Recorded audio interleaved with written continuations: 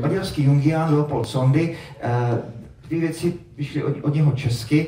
Nečte se to úplně jednoduše, tento obrázek ale dává smysl a zdá se mi velmi logický. Sondy říká vlastně to, že všichni máme tady ten nucený osud. To je datum, kdy jsem se narodil. To jsou moji rodiče, pan Vácha, paní Váchova. Jsem se nevybral.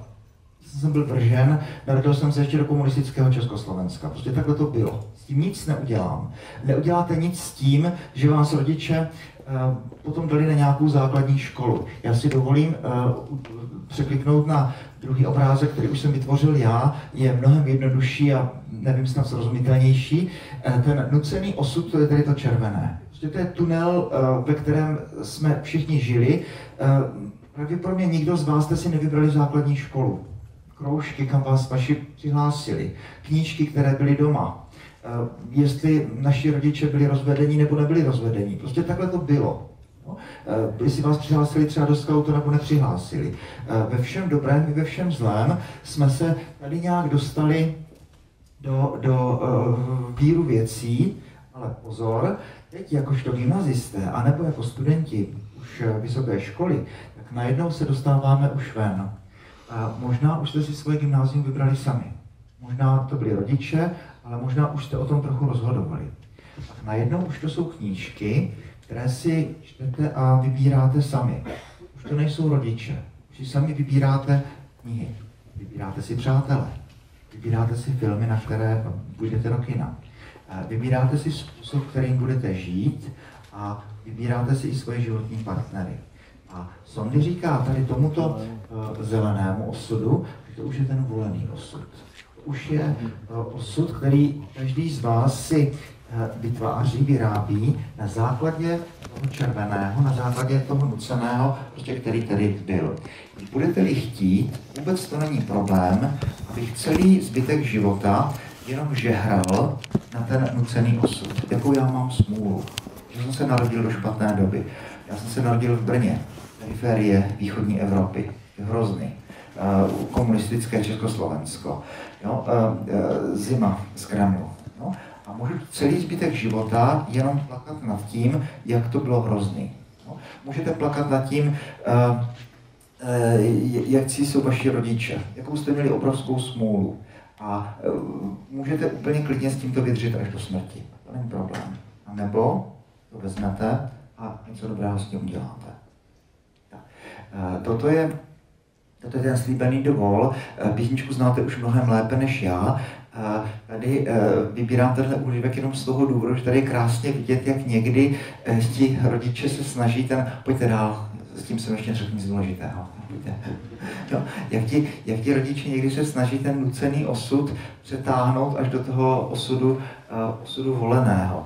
A uh, jsem to mluvil včera v té, v té diskusi v, v kostele, uh, že Dřív to bylo tak, že eh, ten Honza si vzal ty buchty do toho šátku, vzal si tu hlučičku a odešel do daleké země, kde neznal řeč. Pravděpodobně tam mluvil německy nebo nějakou jinou řečí. Chvilku spal pod mostem, chvilku mu vůbec nebylo dobře. Pak se uchytil, naučil se nějakému řemeslu, naučil se tu řeč a po několika letech se vrací zpátky jako chlap. Umí jazyk, umí řemeslo, je individuovaný a dokáže založit rodinu. Dneska se říká, že chapadla těch Skypeů a Whatsappů a e, Facebooků a, a takovýchhle nějakých záležitostí, že opepínají celý svět. Já jsem ještě byl kdysi dávno na Antarktidě, když to ještě byla divočina. Dneska na každé stanici je internet. Po Antarktidě jezdí čtyřkolky. Každá stanice má satelitní telefon. Dneska už se jezdí na Antarktidu, jak e, tady do Ostravy třeba. Jo, žádný problém. A když studujete v New Yorku nebo v Bostonu nebo kdekoliv a máte problém, je vám smutno, hm, si zavoláte domů. A nebo rodiče vám volají každý den, každé odpoledne, jak se vám daří. Máte problém ve škole, rodiče se snaží ho vyřešit. Máte problém s ubytování, rodiče umytají cestičku. A být jste na opačném konci světa, tak uh, vám rodiče s obrovskou láskou umetají cestu a ten člověk prostě nemůže dospět Pořád jsem to děcko, pořád mám za sebou ty rodiče a když mi je smutno, zavolám s někomu a e, nemám tam ty chvíle, kdy se musím porvat sám. Kdy mě potká neúspěch, eh, kdy, kdy jsem strašně smutný, protože nemám s kým si povykládat a musím to nějak zvládnout. To už dneska není. Takže The Wall Jo, to je strašně stará, velmi stará skladba tady toto. Kdy tam ten hlavní hrdina, eh, znáte i určitou písničku, jak ten chlapec říká, maminko, jestli strhnou tu bombu, jestli bych měl kandidovat na prezidenta a potom říká, maminka ti pomůže, maminka ti uklidí, maminka ti vypere prádlo, maminka pro tebe všechno udělá a, a potom je tam závěr té písně, I was gonna check out all the girls friends for you.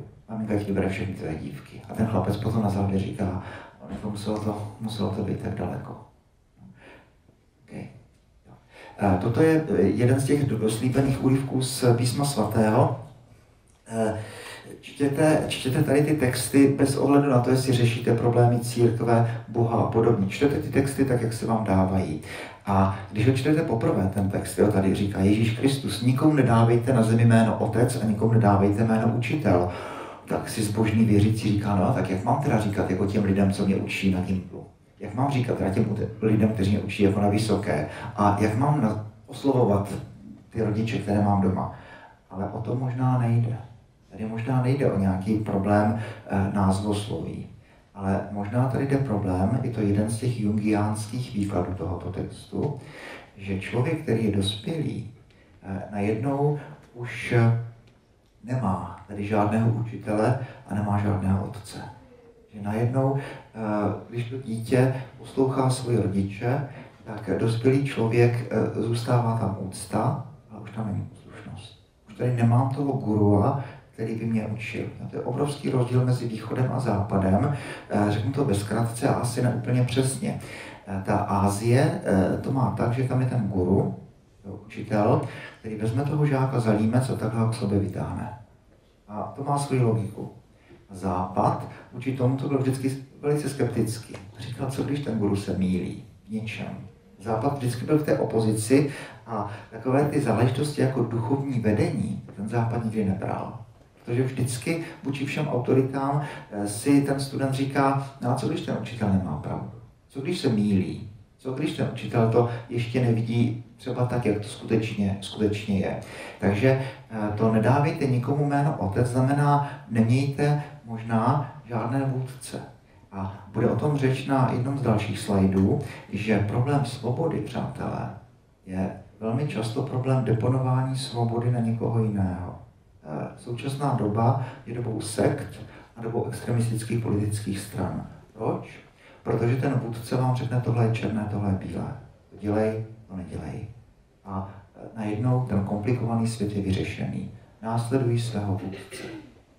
A jestli teda něco přineslo křesťanství užitečného, tak je to ta představa, že eh, na konci života budu se sám odpovídat za můj život. A už mě nepomohou výmluvy, tak to kázali rodiče. Tohle mě říkali učitelé na střední. Tak to mě učili učitelé na vysoké. Já sám jsem odpovědný za svůj život. Sami jste odpovědní za to, eh, jakou trajektorii života si zvolíte, jaký volený osud nasadíte na svůj vlastní život, bez ohledu na to, co k tomu říká okolí. Tak. Eh, toto je Jung. No, eh, Jung, když přemýšlí o, o lidské svobodě, uvidíme jeho, několik jeho velmi, velmi ostrých citátů a dopředu říkám, že Jung umírá 1961, takže zdám, kdyby to vůbec netýká současné generace. A Jung, když tady přemýšlí, eh, kdy vzniká homo, Dneska obrovská otázka pro antropologii. Když najdete nějaké ty, ty, ty lepky a kosti, tak otázka pro biologické antropologie, jestli to je ještě Australopithecus nebo jestli to je už, už homo. No. Eh, řeč vám neskamení, chování vám neskamení, láska vám neskamení, rozhodování taky neskamení. Máme kosti, zuby, kameny a nějaké nástroje. A e, jistě, že antropologové to řeší po svém, ti řeknou během lepky, říká ten mozkový Rubikon, řekněme těch 750 kubických centimetrů, to homo. A Jung říká, no ale třeba ta chvíle, kdy vzniká člověk, jako ta chvíle, je právě ta, kdy e, ten tvor začne jednat ještě i jinak. Chvíle, kdy se objevuje svoboda. No, to, je, je co o čem stojí za to občas uvažovat, protože e, až skončí tahle přednáška, všichni máte 10 tisíc možností, co dělat. A už nám to ani nepřijde. Ale tohle byla možná ta chvíle, kdy řetězce těch instinktů, pes, bouda, sex, jídlo, voda, najednou můžu jít, udělat krok bokem a můžu jednat svým vlastním způsobem. Najednou můžu být svobodný.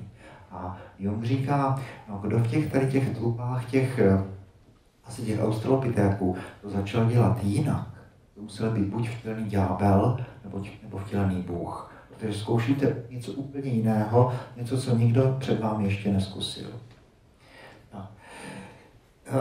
Teď o té, o té dospělosti. Už jsem tady naznačil trochu problém té svobody. Tak pokud bychom si svobodu dali jako tu chvíli, tu chvíli, kdy vzniká homo, kdy vzniká skutečně člověk, tak eh, potom dějiny lidstva by byly dějinami svobody. Všichni po svobodě toužíme. Stávkujeme za svobodu v roce 89. Všechny politické strany mají v programu a většina jich má eh, v názvu.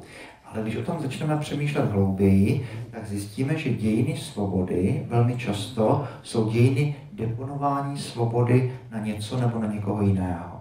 To je velmi zvláštní. Eh, jako bych ze svobody měl obrovský strach. Antické věštění, nemáte drony, nemáte satelity, eh, nemáte žádnou představu, jak je rozestavena nepřátelská armáda, no tak věštíte Delfy, slovanské sudíčky, které vám řeknou zhruba, jak to, jak to bude. No a potom eh, to 20. století, že když přichází Hitler a říká, přebírám veškerou odpovědnost, to se velice hezky poslouchá. No, sledujete vůdce a svět je vyřešený. Najednou uh, už nemusíte váhat, pokud věříte tomu, tomu svému uh, vůdci. Tak, protože odpovědnost, uh, protože odpovědnost bolí. Protože na rozdíl od toho psa, který spí v noci klidně, já ne. Já se v noci budím úzkostmi. No, třeba proto, že mám další den ráno tady na Sleské univerzitě přednášku a chci udělat dobře. Nebo máte maturitu další den. Nebo máte svoje třeba první setkání s nějakou slečnou, nechcete to pokazit. Nebo máte zkoušku a víte, že musíte zareagovat dobře a když nezareagujete, tak eh, to třeba bude mít nějaké devastující následky. To znamená, eh, svoboda to není jenom ten jiskřivý vesmír možností, ale to je taky hluboká propast toho, že můžu jednat špatně.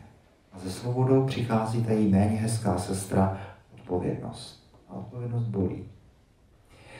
Eh, Jung, když takhle čtete, tak to vypadá krásně. Ne? Že e, osobnost vzniká tím, že vědomým mravním rozhodnutím zvolíte vlastní cestu.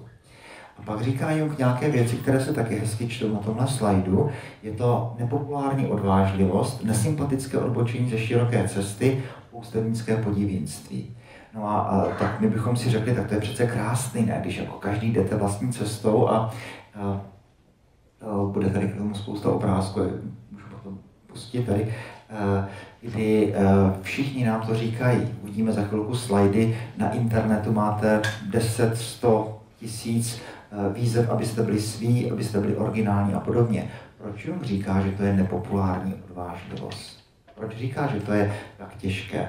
Eh, toto je jenom poznámka pod čarou, ale kterou, která možná je důležitá, kdy Jung opakují, umírá 1961, říká, no, říká dvě takové jako velmi sarkastické poznámky, takové šlehy. První říká, no my moc neumíme vychovávat vlastní děti, protože pokud moji rodiče byli příliš úzkostliví, příliš sevření, tak já zase jdu úplně k opačné zdi a zase dětem dovolím úplně všechno. Pokud rodiče o mě o určitých eh, záležitostech eh, nemluvili, sexuálních třeba, tak já zase budu ty děti vychovat úplně na volno. A jdu ode zdi ke zdi. A potom říká Jung, věc, která, která e, taky je teda hodně ostrá. Říká, jak se z vás můžou stát dospělí, míra 1961, když e, dospělého člověka nikdy neuvidíte. Že mu říká, ve škole to vás učí děti, doma vás vychovávají děti. Děti mají děti a děti učí děti. Jak se můžu v tomto kontextu stát osobností, jak se můžu stát dospělým? No, tak to je ostrý.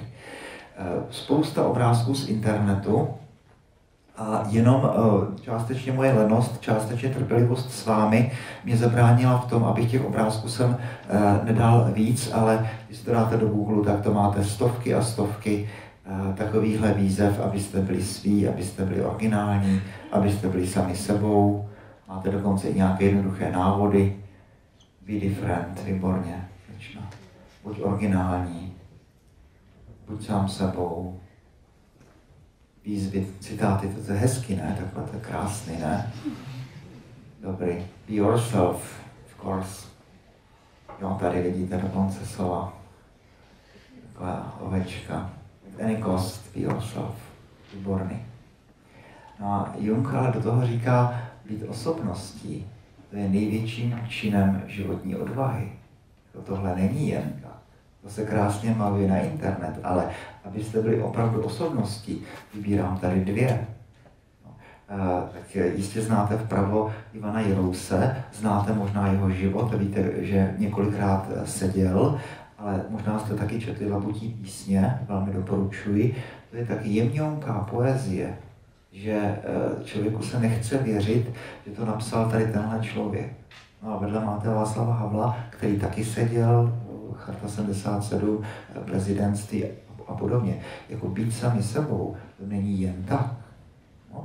A eh, úplná drobnost, možná někdo z vás nemá Facebook. OK, Facebook je jistě dobrý sluha, jistě tam je spousta dobrých věcí. No ale dělat něco takového, to není jednoduchý. Není jednoduchý. To znamená, byť se o tom takhle mluví, tak buďte velmi, velmi citliví k tomu, abyste skutečně šli vlastní cestou. S představou, že to bude bolet, že to není možné, aby to nebolelo. Není možné, aby to nebolelo, ale není jiná možnost. Tak, individuace. E, zase Karl Gustav. E, někdo říká, nemohu zklamat své rodiče nebo svoji rodinu. Muž jící se svou matkou říká, rád bych se oženil, ale to by mou ubohou starou matku zabilo a ono ji to možná zabije. No. jsem kněz, ne katolicky, tak vzpomínám, ty lidi ještě žijí, mají jména, tak o tom chci mluvit velmi opatrně. Té e, dívce bylo asi 30 roků, byla učitelka, starala se o svoji nemocnou ubohou babičku, velmi hezká holka. A vždycky, když přinesla domů k té babičce nějakého nápadníka, tak ta babička to rozstřelila nějak to rozbila ten vztah. Umluvila toho nápadníka a podobně, to byl třeba třetí, čtvrtý chlapec a já jí říkal, no musíš se odstěhovat, prostě to jinak se nevdáš. A ona mě říkala, no ale kdo se bude starat o tu babičku? No jo, tak ale potom stojí to si uvědomit, jaké životy chcete žít. No, v desateru je krásné čtvrté přikázání, ale to nemluví o poslušnosti. Tam je to ctí otce svého, svoji matku. A ano, úcta vždycky a všude. Vyjdete nahoru, rodiče už jdou z kopečka už mají právo každý den na větší a větší trpělivost z vaší strany. To je OK, ale žijete vaše životy. No, nejsme tady proto, abychom naplňovali nenaplněné ambice našich rodičů. Pokud moji rodiče tady žili za komunistů, nemohli studovat, nemohli dosáhnout akademické tituly, vy tady nejste proto, abyste naplňovali jejich nenaplněné ambice. No, s velkou úctou, ale přece jenom nejsme tady z tohoto důvodu. No a teďka ten obrázek, který už jsem měl včera, ale eh, dávám hodně tvrdohlavě eh, ten obrázek eh, do každé takovéto nějaké přednášky, protože ta myšlenka, která je zatím, se mi zdá tak silná, že stojí za to ji, ji říct i zde. Kdysi dávno jsem to promítal našim studentům medicíny, teď už to nedělám, ale, ale ta, ta, ten obrázek má svůj smysl. První tři body, to je biologie a, a, a well, 1962 teoretický fyzik Thomas Kuhn napsal strukturu vědeckých revolucí. To je knížka, která převrátila svět nejen fyziky, ale svět vědy. Eh, Gordian, jsou novináři, že? napsal, že to je jeden ze sta nejvlivnějších Evropanů, Thomas Kuhn. Můžete pokročit rameny, možná ho neznáte. Dneska je Kuhn samozřejmě dál rozpracovaný, nechci říct překonaný, ale rozpracovaný a, eh, dost o tom. Přečtěte si to, je to velmi zajímavý. Eh, struktura vědeckých revolucí. Já to řeknu krátce, ale dobře, OK. Kuhn je teoretický fyzik a e, ta jeho základní myšlenka je, a to je zajímavý pro, pro, pro filozofii vědy. E, chodíte na základní školu, chodíte na střední školu a chodíte i na vysokou, kde se to pořád ještě takhle učí a to je v pořádku. E, filozoficky se říká, že ten, kdo ví, učí ty, kteří neví. Ne? Tak to funguje, když učím biologii. Ne protože by byl chytřejší než já, než vy, já jsem mnohem hloupější než vy, ale já jsem starší. Ten svůj uzonký předmět jsem měl mnoho a mnoho let času, abych si ho konečně nastudoval. Ten učitel nemusí a často není chytřejší, než jsou studenti, ale prostě jenom má na to víc času. Ale ta představa, říká Thomas Kuhn, je taková, že tady venku za oknem je svět a ten svět je jako Rubikova kostka. Ten svět má miliony a miliony let neměné fyzikální zákony a my ty fyzikální zákony vlastně jenom vykopáváme, je objevujeme a jakoby je stahujeme z nebe na zem. A zkuste si jenom představit, cituji Zdenka Neubauera, možná tady na chvíli přijde, že eh, to, čemu Galileo Galilei říkal, ta, ta učebnice přírody, textbook, sklapneme to a odložíme to. Bude poslední objev, bude udělena poslední Nobelova cena, naposledy se sjedou celebrity do Stockholmu, naposled vyjde Nature a Science, ale ty poslední stránky už budou bílé, protože prostě najednou vesmír bude vyřešený. Hotovo. Na všechno jsme přišli. No. A otázka, jestli tady tohle bude. Thomas Kuhn říká, že věda to je puzzle solving activity. Je to aktivita, ve které prostě řešíme, řešíme to puzzle. Chodím v noci po Praze, tak tam nějací ti kluci mají ten gyros, ne? to je takový nějaký ta železná tyč a tam jsou ty pláty masa, se otáčí kolem nějaké, nějaké té žhavé plotny a potom odkrajují ty kousky a dávají to turistům jako jídlo. A si člověk uvědomí, že to je přesně to, co děláme na univerzitách, že my taky odkrajujeme z té přírody ty kousky toho neznámého, dáváme to studentům doslova k sežvíkání a jednou ta tyč už bude potom prázdná. Na všechno přijdeme. No, to bylo to 19. století. Všechno se dá zvládnout. Neruda píše písně kosmické. Před žádnou, žádnou záhadou své šíje neskloníme, on nebeskon by nejzaší své, e, svým duchem zazvoníme. Dejte nám čas a my na všechno přijdeme konec 19. století. Arthur Conan Doyle píše Sherlocka Holmese. Na všechno přijde. Na všechno přijde. A jestli mám nestačí oči, tak si vezme lupu. Ale svět je Rubikova kostka. To se dá vymyslet. Lord Kelvin 1900 má přednášku, ve které říká, fyzika je hotová. Poslední, co fyzice zbývá, je dosypávat další a další desetiná místa. Ale hlavní měření, přátelé, jsou hotová. Se nedá nic dělat. Maxi Planckovi říkají učitelé, ať jde dělat biologii. Ve fyzice už se dá jen paběrkovat. Hotovo. No, ten svět je vyřešený. No. A, a, no a potom přichází Albert 1905 a 1916, jo, speciální obecná relativita, do toho přichází Max Planck s kvantovou mechanikou, kde dneska ta fyzika je mnohem a mnohem pokornější. No a Thomas Kuhn, který sám je fyzik, tak si tohoto všímá a říká, víte, když přijde Einstein, Eh, s tou svojí představou. A možná pro naši přednášku bude velmi důležité, že Einstein eh, nebyl úplně dobrý student a v 15 letech eh, si říkal, co bych viděl, kdybych se posadil obkročku na sluneční paprsek a letěl. Co byste viděli? Hm? A tohle je ten blesk. No a potom přijde Einstein a Einstein to neudělá tak, že by přistavil nové patro na té pyramidě poznání. Protože v tom obrazu vědy, který jsem takhle předestřel, že odřezáváme ty kousky masa, každá další generace přináší svoje nové objevy a budujeme tu pyramidu poznání. Každé další patro.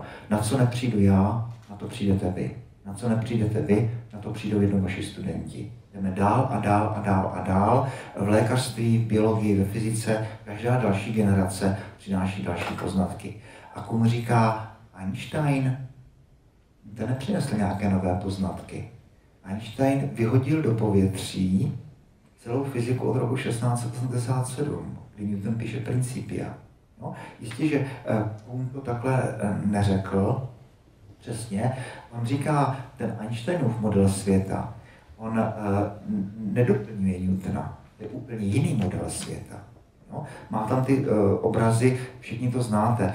Buď je to králík, nebo je to kačena. Nebo jsou to dvě, dvě líbající se hlavy, nebo je to kalich. Záleží na tom, jak se díváte. A on říká, tohle to je, buď se podíváte na svět newtonovsky, nebo einsteinovsky. Ale pozor, sondy na Mars už musíme posílat podle Einsteina. Ten einsteinovský obraz není ani lepší, ani horší, respektive je lepší a je lepší v tom, že on je přesnější. No. Takže Kuhn říká, není to tak, že bychom budovali tu pyramidu poznání, někdy ten nový objev jakoby vyhodí do povětří řadu pater, které byly před námi. A Einstein řekne, no on to je trošku jinak. On říká, dokonce i hmota u Einsteina znamená něco jiného než Newtona. Samotné to slovo. No. Anyway, první tři uh, obrázky nicméně nám, uh, nám implikují tu představu, že budujeme tu pyramidu toho poznání. Velmi zvláštní věc, o které se hodně diskutuje. Jo?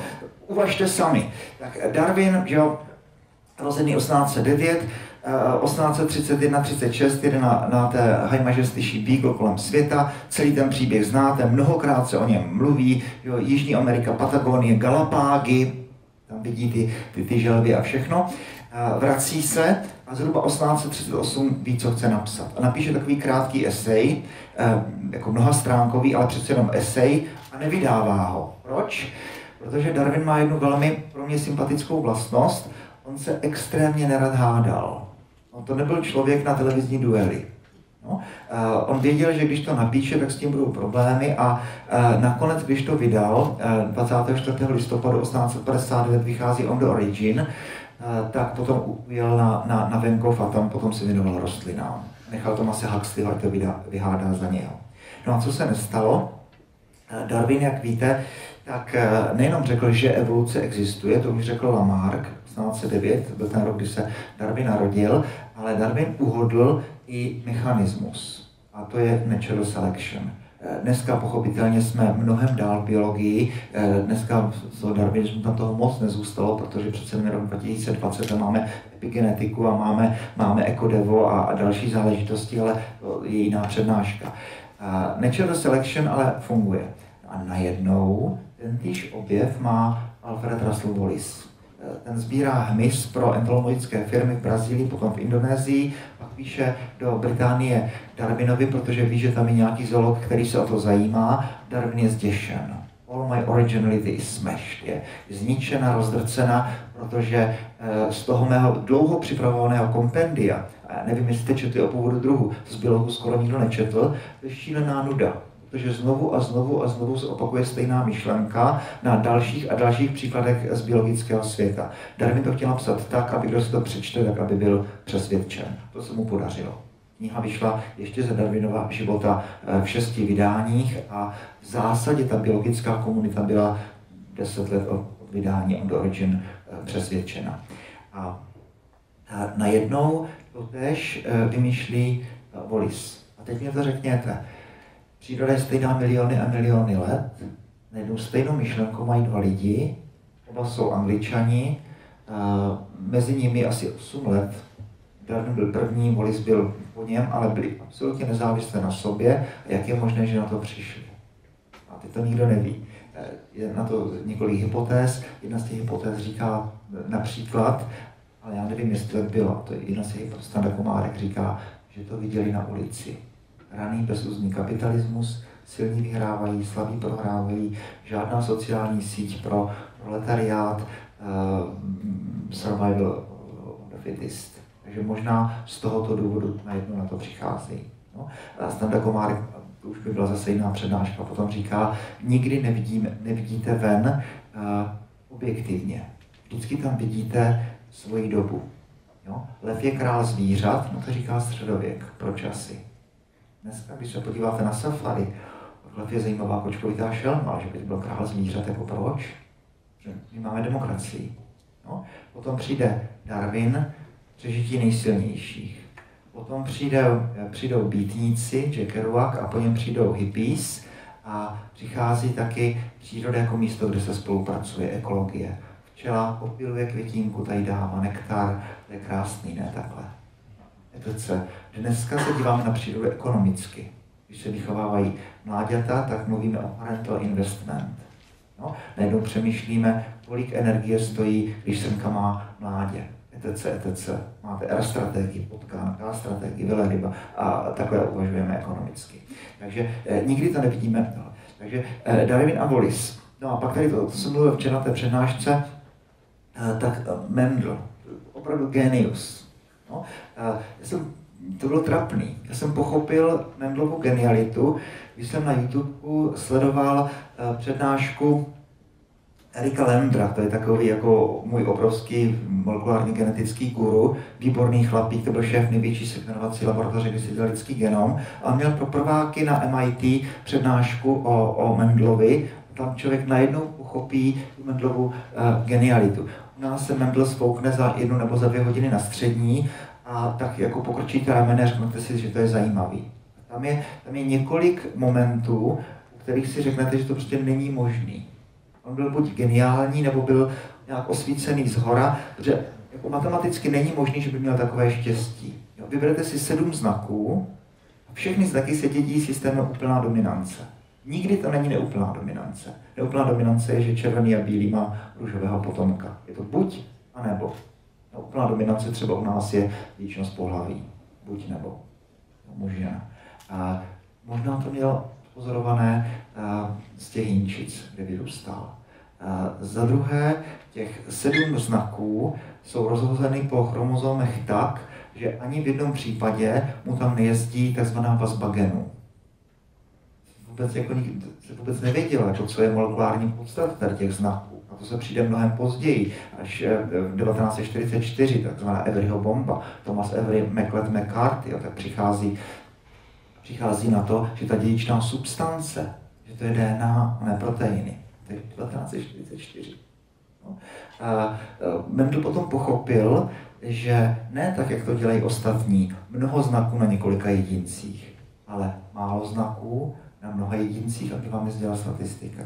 Další, další legrácky. No, když byl první experiment, eh, červená rostlinka, bílá rostlinka a mají červeného potomka, úplná dominance, no tak já bych to publikoval. Protože to je právě důkaz toho, že neexistuje ta blending inheritance, o kterém mluvil Darwin, ona existuje. Neúplná dominance v tom říkáš, ten potomek je růžový. A Mendel dokázal, že aspoň v tom jednom případě funguje úplná dominance, potomek je červený. Já bych to publikoval. Mendel ne. Mendel si říkal, co když toho potomka v F1 ještě samospráší. Pak je to teda úplně EZO, protože máte červeného rodiče, červeného rodiče, 25% dětí je bílých. Jak je to možné, že dva červení rodiče dají bílého potomka? A Mendel si u tohoto už vymyslel ten matematický model. Absolutně, uh, absolutní mystika. No. Dneska už nemusíte být geniové, stačí dělat genetiku. Dneska už každý ví, že matematika a biologie je spojena. No ale jako přijít na to. Hm. 1900 Karl Korenz, Igor de Vries a Erich von Čermák. Korenz je Němec, Erich von Čermák je Rakušák a Igor de Vries je Holandian. Tak znovu objevují Mendla, Štou, Versuche i Propflanzen Hybriden. Mendel to odvykládá 8. února, 8. března 1865, pak to vyjde tiskem. Dodnes, prosím pěkně, Versuche je uváděna jako příklad vědecky pečlivě provedené práce jak má vypadat meteorologicky dobře zvládnutá eh, vědecká práce. Mendel se snaží nezavádět žádné nové, nové termíny, pokud nemusí, tak, tak nezavádí žádné novotvary, je velmi a velmi pokorný, používá tu symboliku velkých malých písmen, velké a malé a etc. A e, nicméně, nicméně teda objevuje zásadní věci. Jak víte, nikdo tomu nerozuměl v té době, Mendel věděl, že objevil obecný princip, umírá 1884, rekviemu hraje Leoš Janáček, řečníci se střídají na pohřbu a vzpomínají zbožného kněze, laskavého opata, byl zvolený jako vlastně kompromisní kandidát mezi dvěma frakcemi a všichni se nakonec hodli na Mendlovi, takže po umrtí Cíla Napa se Mendl stává opatem. Vzpomínají ředitele banky, pomologa, meteorologa, včelaře, ale nikdo nespomíná pokusy s hrachem. Nikdo. A teprve 16 let po jeho smrti tady ti tři pánové znovu objevují a začíná genetika. Kdyby nebylo Mendla, tak by genetika by začala třeba o 50 let později. Kdyby nebylo Darwina, tak máme dneska Polisovou teorii. Není problém. Watson s Creekem, to je pro vás asi nejnovější nej, uh, příklad. 25. dubna 1953 publikují v Nature uh, double helix, trojrozměrnou strukturu DNA. A říká se, že kdyby to nepublikovali, možná tři týdny, možná 14 dní, nevíme, možná měsíc po nich by to měl Linus Pauling Pauling byl američan, byla zrovna McCarthyho aféra, takže se nemohlo úplně dobře cestovat mezi Británií a Amerikou. Pauling chtěl, aby Watson s Creekem poslali fotografii, kterou dělá Rosalinda Franklin. Watson s Creekem ji pochopitelně neposlali. A Pauling, kdyby to viděl, tak by to měl. Pauling věděl, že DNA je šroubovice. Když znáte Paulinka z organické chemie, je to chlapík, který přišel na to, že eh, proteiny mají alfa helix. Jo, ta sekundární skladba proteinů je buď beta skládaný list, anebo alfa helix. Paulink věděl, že příroda má ráda šroubovice a věděl, že DNA šroubovice je. A neviděl, jestli to je jedno vlákno, dvě, tři, jestli ty báze jsou jako vánoční stromeček do všech stran, jak to vlastně je. A kdyby Watson s Creekem to nepublikovali, Paulink to má po nich. Jakoby ten oběd už někde visí, visí ve vzduchu. Tak a teďka střih a teď se vrátíme zpátky na zem do naší přednášky. Vaše životy jsou spíš umění než věda. V umění platí úplně jiná pravidla hry. Kdyby tady nebyl Antonín Dvořák, tak Novosvětskou napíše nikdo. Umění má úplně, úplně jiný vesmír, má úplně jiná pravidla. To, že vznikla Novosvětská, to je Dvořákův genius, jeho píle, jeho manželka, ale taky životní trajektorie, že vzal místo v Americe, ale taky to všechno, co v Americe zažil, protože, se, protože neměl žádné předsudky, začal se bavit s těmi černošskými uklízečkami, kteří si pískali při, při práci spirituály, tak to bylo. Začal studovat etnickou hudbu domorodých eh, indiánů a najednou tohle všechno do toho dal. Kdyby nebylo Dvořáka, tak Novocvickou nenapíší jeho žáci, ani žáci jeho žáků. No. Kdyby nebylo uh, našich učitelů, kteří nebudou moderní výzvy lidstva. To nešlo z hora, to si někdo vymyslel. Je to dobrý projekt, který, když by nevymysleli oni, tak by nevznikl. Kdyby nebylo Alfonze Muchy, nikdo nenamaluje slovanskou epopeji. Ani jeho žáci, ani žáci jeho žáků. Kdyby nebylo uh, pánů, kteří sedí tady v třetí řadě, nevznikl by festival Lux in Tenebris. No, a to nevymyslí potom nik, nik, nikdo další. No, a e, vaše životy jsou spíše životy Antonína Dvořáka než e, Darwina nebo, nebo tady těch. Proč? Protože symfonie, které když nenapíšete vy, tak nebudou napsané vůbec. A obrazy, které když nenamalujete vy, nebudou namalovány vůbec. A určitá dobrá díla, která když neuvedete v život vy, tak nebudou. To neznamená, že svět skončí, že by svět nebyl. No dobře, ale, ale svět bude mnoho dobrého ochuzen.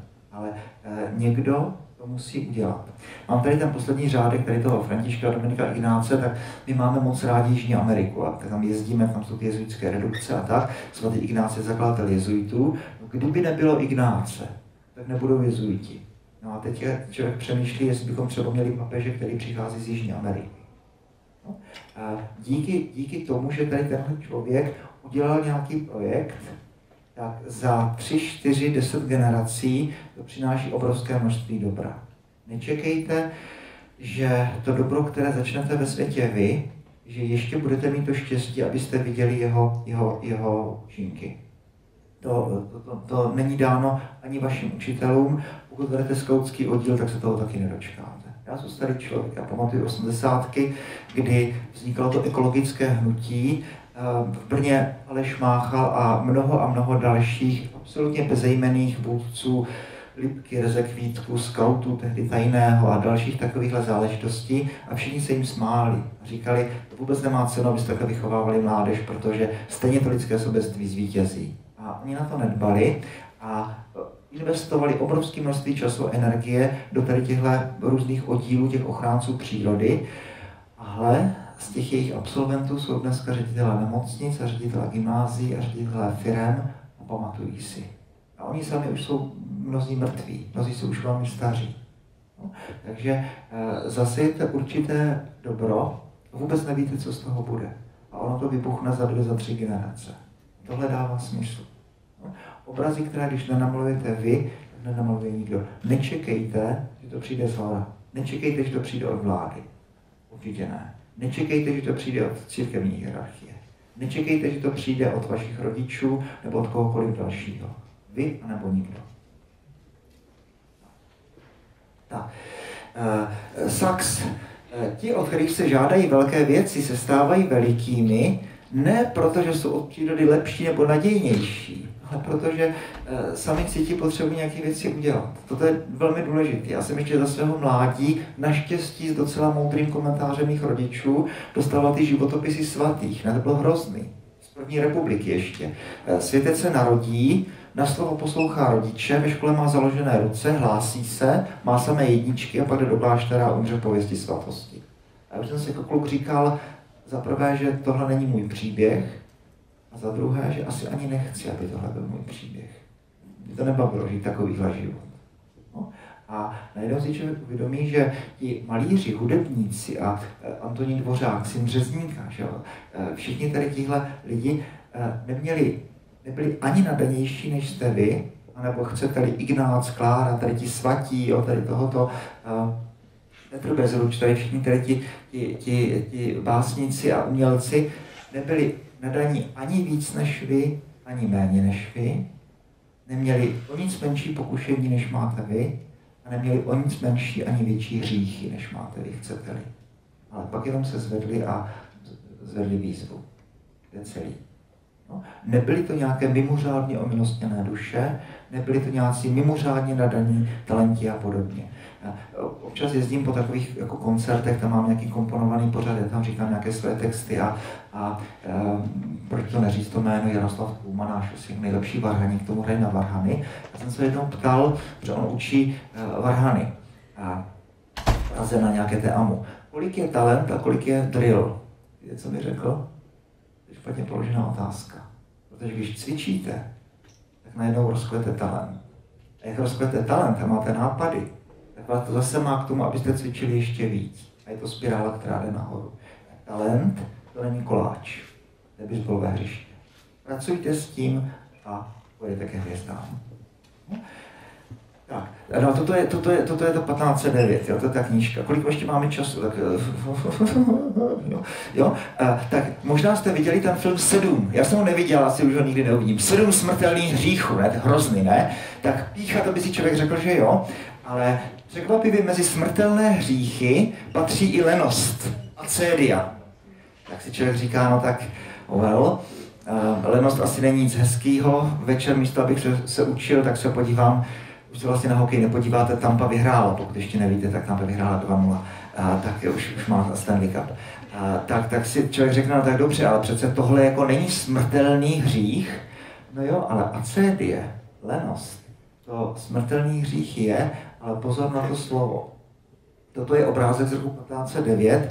Našel jsem v knížce Vnímavá zeleň, kterou jinak velmi doporučuji. Dneska velký, velké téma eh, chování a inteligence rostlin. Velmi zajímavý. Eh, eh, první část toho obrazu, nevím, jestli můj výklad je správný, ale tak okay. no, První část toho obrazu, takhle doleva, to je klasický Aristoteles, skala nature. Znáte, tak když se podíváte vlevo, tak tam máte nějakou tu skálu Petra, která je minerále, nahoře ta pouze jest, ta je. Vedle toho máte tu rostlinu, arbor, strom tedy je to, ten est ale taky vivit, žije a je to vegetabile.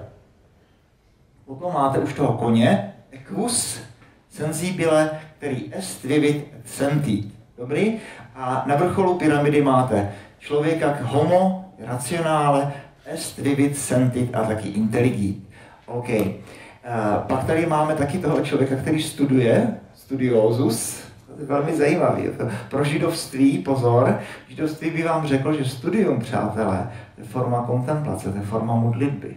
Židovství dokonce říká, že o, studium ještě důležitější forma modlitby než modlitba sama. Říká, vám to otevírá oči pro krásu creation a tím pádem už máte zase uh, otevřené oči pro krásu stvořitela. To je židovství. Ale potom tady máte zvláštní věci a vidíte, co je hřích, ne? Tak tady máte chlapíka, který se, eh, se zhlíží v zrcadle, já než mě tady podívám fotograf, tak to je sensualis, uh, luxuria, přepich a najednou už jenom est vivit et sentit. Gula, obžerství, tak, tak ten už jenom est. Ten poslední, ten už jenom est, je opravdu jako ta skála mineralis a to je acélia. A co to znamená acedia pro nás?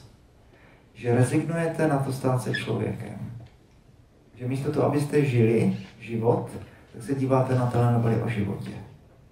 Že místo toho, abyste žili život, tak se díváte z okna na ulici a pijete k tomu teplé pivo. Je celý. Že rezignují na to stát se člověkem. Tady máme, no, eh, že toto je ten Pípr, to je to misté, tak to tam má, má ten jako náboženský slovník, ale o to nejde. No, není to otázka vnější aktivity nebo aktivity člověka, ale že, že odmítáte využít dobro, které ve vás je. Odmítáte využít talenty, nápady, kreativitu, eh, všechny dobré vlastnosti, které máte. A že to necháte být a díváte se na ten hokej. Že se odmítám stát člověkem. No. Toto je uh, ten druhý text. Uh, teďka to opravdu je to evangelium, ale čtete to jako příběh. Když si to přečtete, tak ten příběh je hodně takový jako Ezo. Je tady řeč o nějakém nemocném, který leží u rybníka, divná věc, bum, ale čtete to jako pohádku, jak se vám to dává ten příběh. Anděl páně občas se vstupuje do rybníka, víří vodu a kdo první vejde, je uzdraven, ať by trpěl jakoukoliv nemocí. To je super. A teďka tady je ten eh, chlapík, který 38 let už tady eh, leží a přichází za ním Ježíš Kristus, tak bychom jistě čekali, že, že laskavý spasitel uzdraví nemocného chudáka. A to se opravdu stane, ale stane se to tak divně. Ježíš se ptá, chceš být zdrav? A ten nemocný místo, aby vykřikl ano. Říká, no, tak eh, vždycky mi jiný předběhne. Za 38 let ten člověk nevymyslel žádnou strategii, aby se dostal jako první do té vody. 38 let mu zřejmě někdo nosí jídlo. A zřejmě mu to naprosto vyhovuje. No, zřejmě je, je, úplně v pořádku. A stalo se mu nakonec to úplně nejhorší, co se mu stát mohlo, a to je to, že ho Ježíš Kristus uzdraví.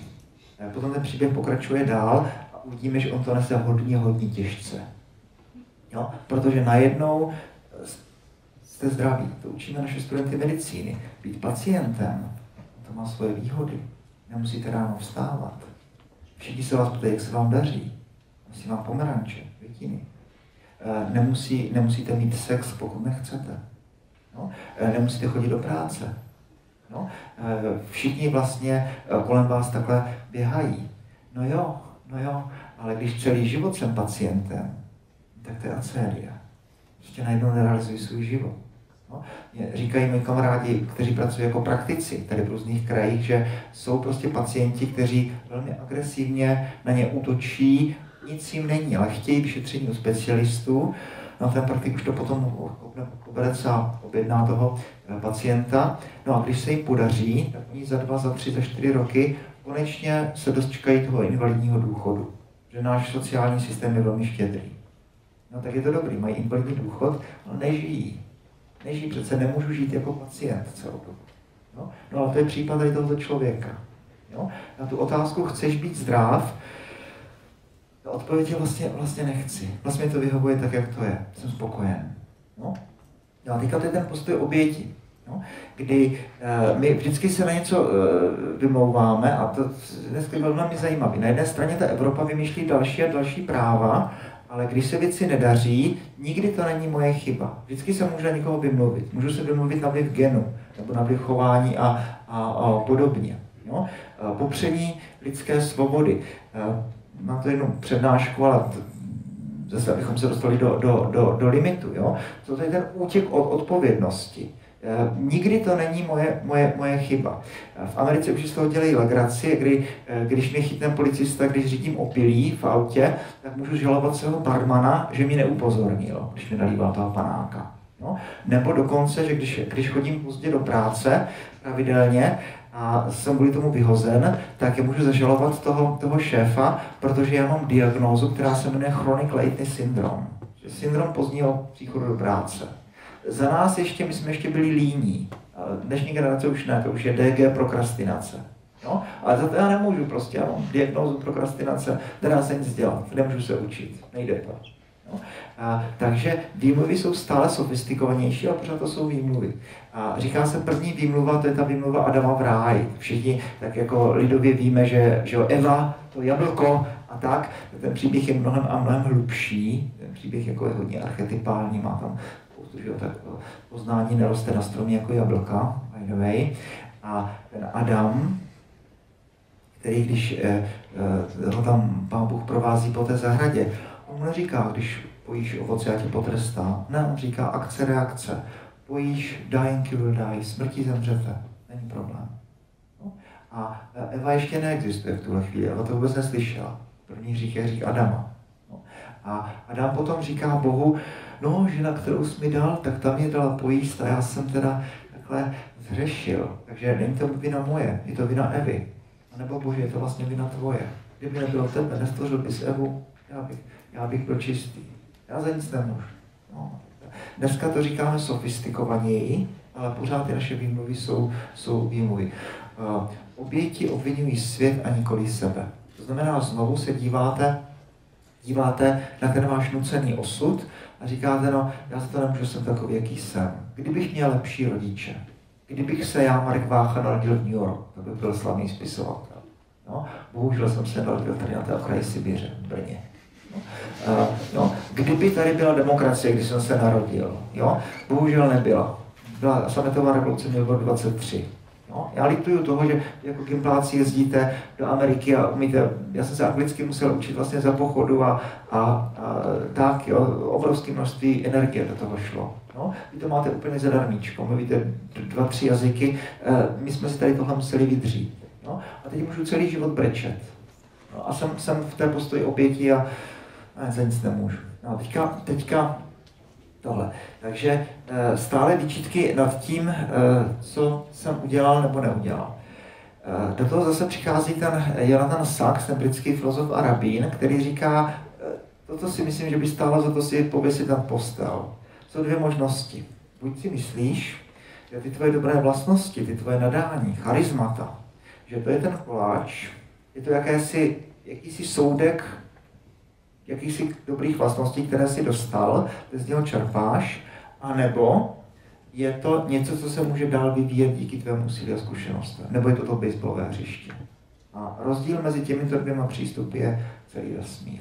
Pokud uvěřím, že se můžu dál vyvíjet k dobrému inteligenci, ke kreativitě, ke hře na nějaký hudební k čemukoliv, nějakým dobrým projektům, tak máte vyhráno. Tak, teďka, uh, já jsem o tom mluvil dlouze, dlouze včera, ale, ale chci to zopakovat i pro vás. Teďka někdy to přijde tak, že, že uděláte chybu, to byl i dotaz jeden v té, v té diskuzi včera v tom kostele, uh, že uděláte chybu a ta chyba je úplně fatální. A teď je otázka, už není to, že mě třeba, já nevím, jo, nebo že vnější okolnosti a nemohl jsem to ovlivnit válka, ale někdy ta chyba je opravdu moje. A mám tady historku ze života tady Gregora, uh, který je zpětý tady s tímhle, s tímhle krajem. A je to, je to ten příběh, který myslím, že stojí za vyprávění. Dneska jsou ty kongresy o těch šťastných neúspěších a já chci tady jeden z nich uh, říct. Mendel má velmi těžký život. Jo. Tam, ten, a ten život je velmi zajímavý. Jsem včera už mluvil o tom, že tu a tam přichází různí lidé, kteří přijdou do toho příběhu, takhle mladého Johannese uh, postrčí dál a zmizí udělají svůj kousíček dobra a jdou pryč. Farář Schreiber, který přemluví otce, aby dal Mendla studovat. Mendl je jediný syn, má přebrat hospodářství. Pak v Olomouci profesor, který Mendla pošle k Augustiniánům. A pak Cyril Nap, opat, zřejmě opat dalekého pohledu, který celý život bude nad Mendlem držet ochranou ruku a celý život, pokud to tak mohu říct, v Mendla věří. Že, že to, co dělá, bratr Gregor, je dobře. Mendel přichází do Brna, je vysvěcený na kněze a jeho první job je e, nemocnice u svaté Anny Pekařská, kde se má starat o pacienty. Je to obrovský výbuch. Mendel má, dneska bychom řekli, slabé nervy, je to trémista, je velmi inteligentní, ale asi úzkostlivý trošku, nesnáší pohled na krev, vůbec nedává ty pacienty a e, celá tady tahle krátká anabáze je, je velký výbuch. Cyril vztahuje Mendla zpátky do kláštera, posílá ho na Jižní Moravu do Znojma učit latinu, řečtinu, němčinu a matematiku a Mendel na gymnáziu rozkvete. Milován studenty, oblíben kolegy, Mendel je konečně na svém místě a a je velmi spokojený. Jediný problém je, že Mendel je suplent. Je to suplující profesor. Dneska bychom řekli, že nemá pedagogickou fakultu vystudovanou. Ředitelství, které si ho tam chce udržet, tak chce mu dát definitivu. Tak se domlouvá s Cyrilem Nopem z Brna, posílají Mendla do Vídně, aby si doplnil uh, nezbytné zkoušky. Mendel udělá fyziku a vyletí ze zoologie. Uh, Mendel je samouk, možná studoval jiné knihy, než bylo potřeba, nebo možná jich studoval málo, to nevíme, ale vyletí ze zoologie.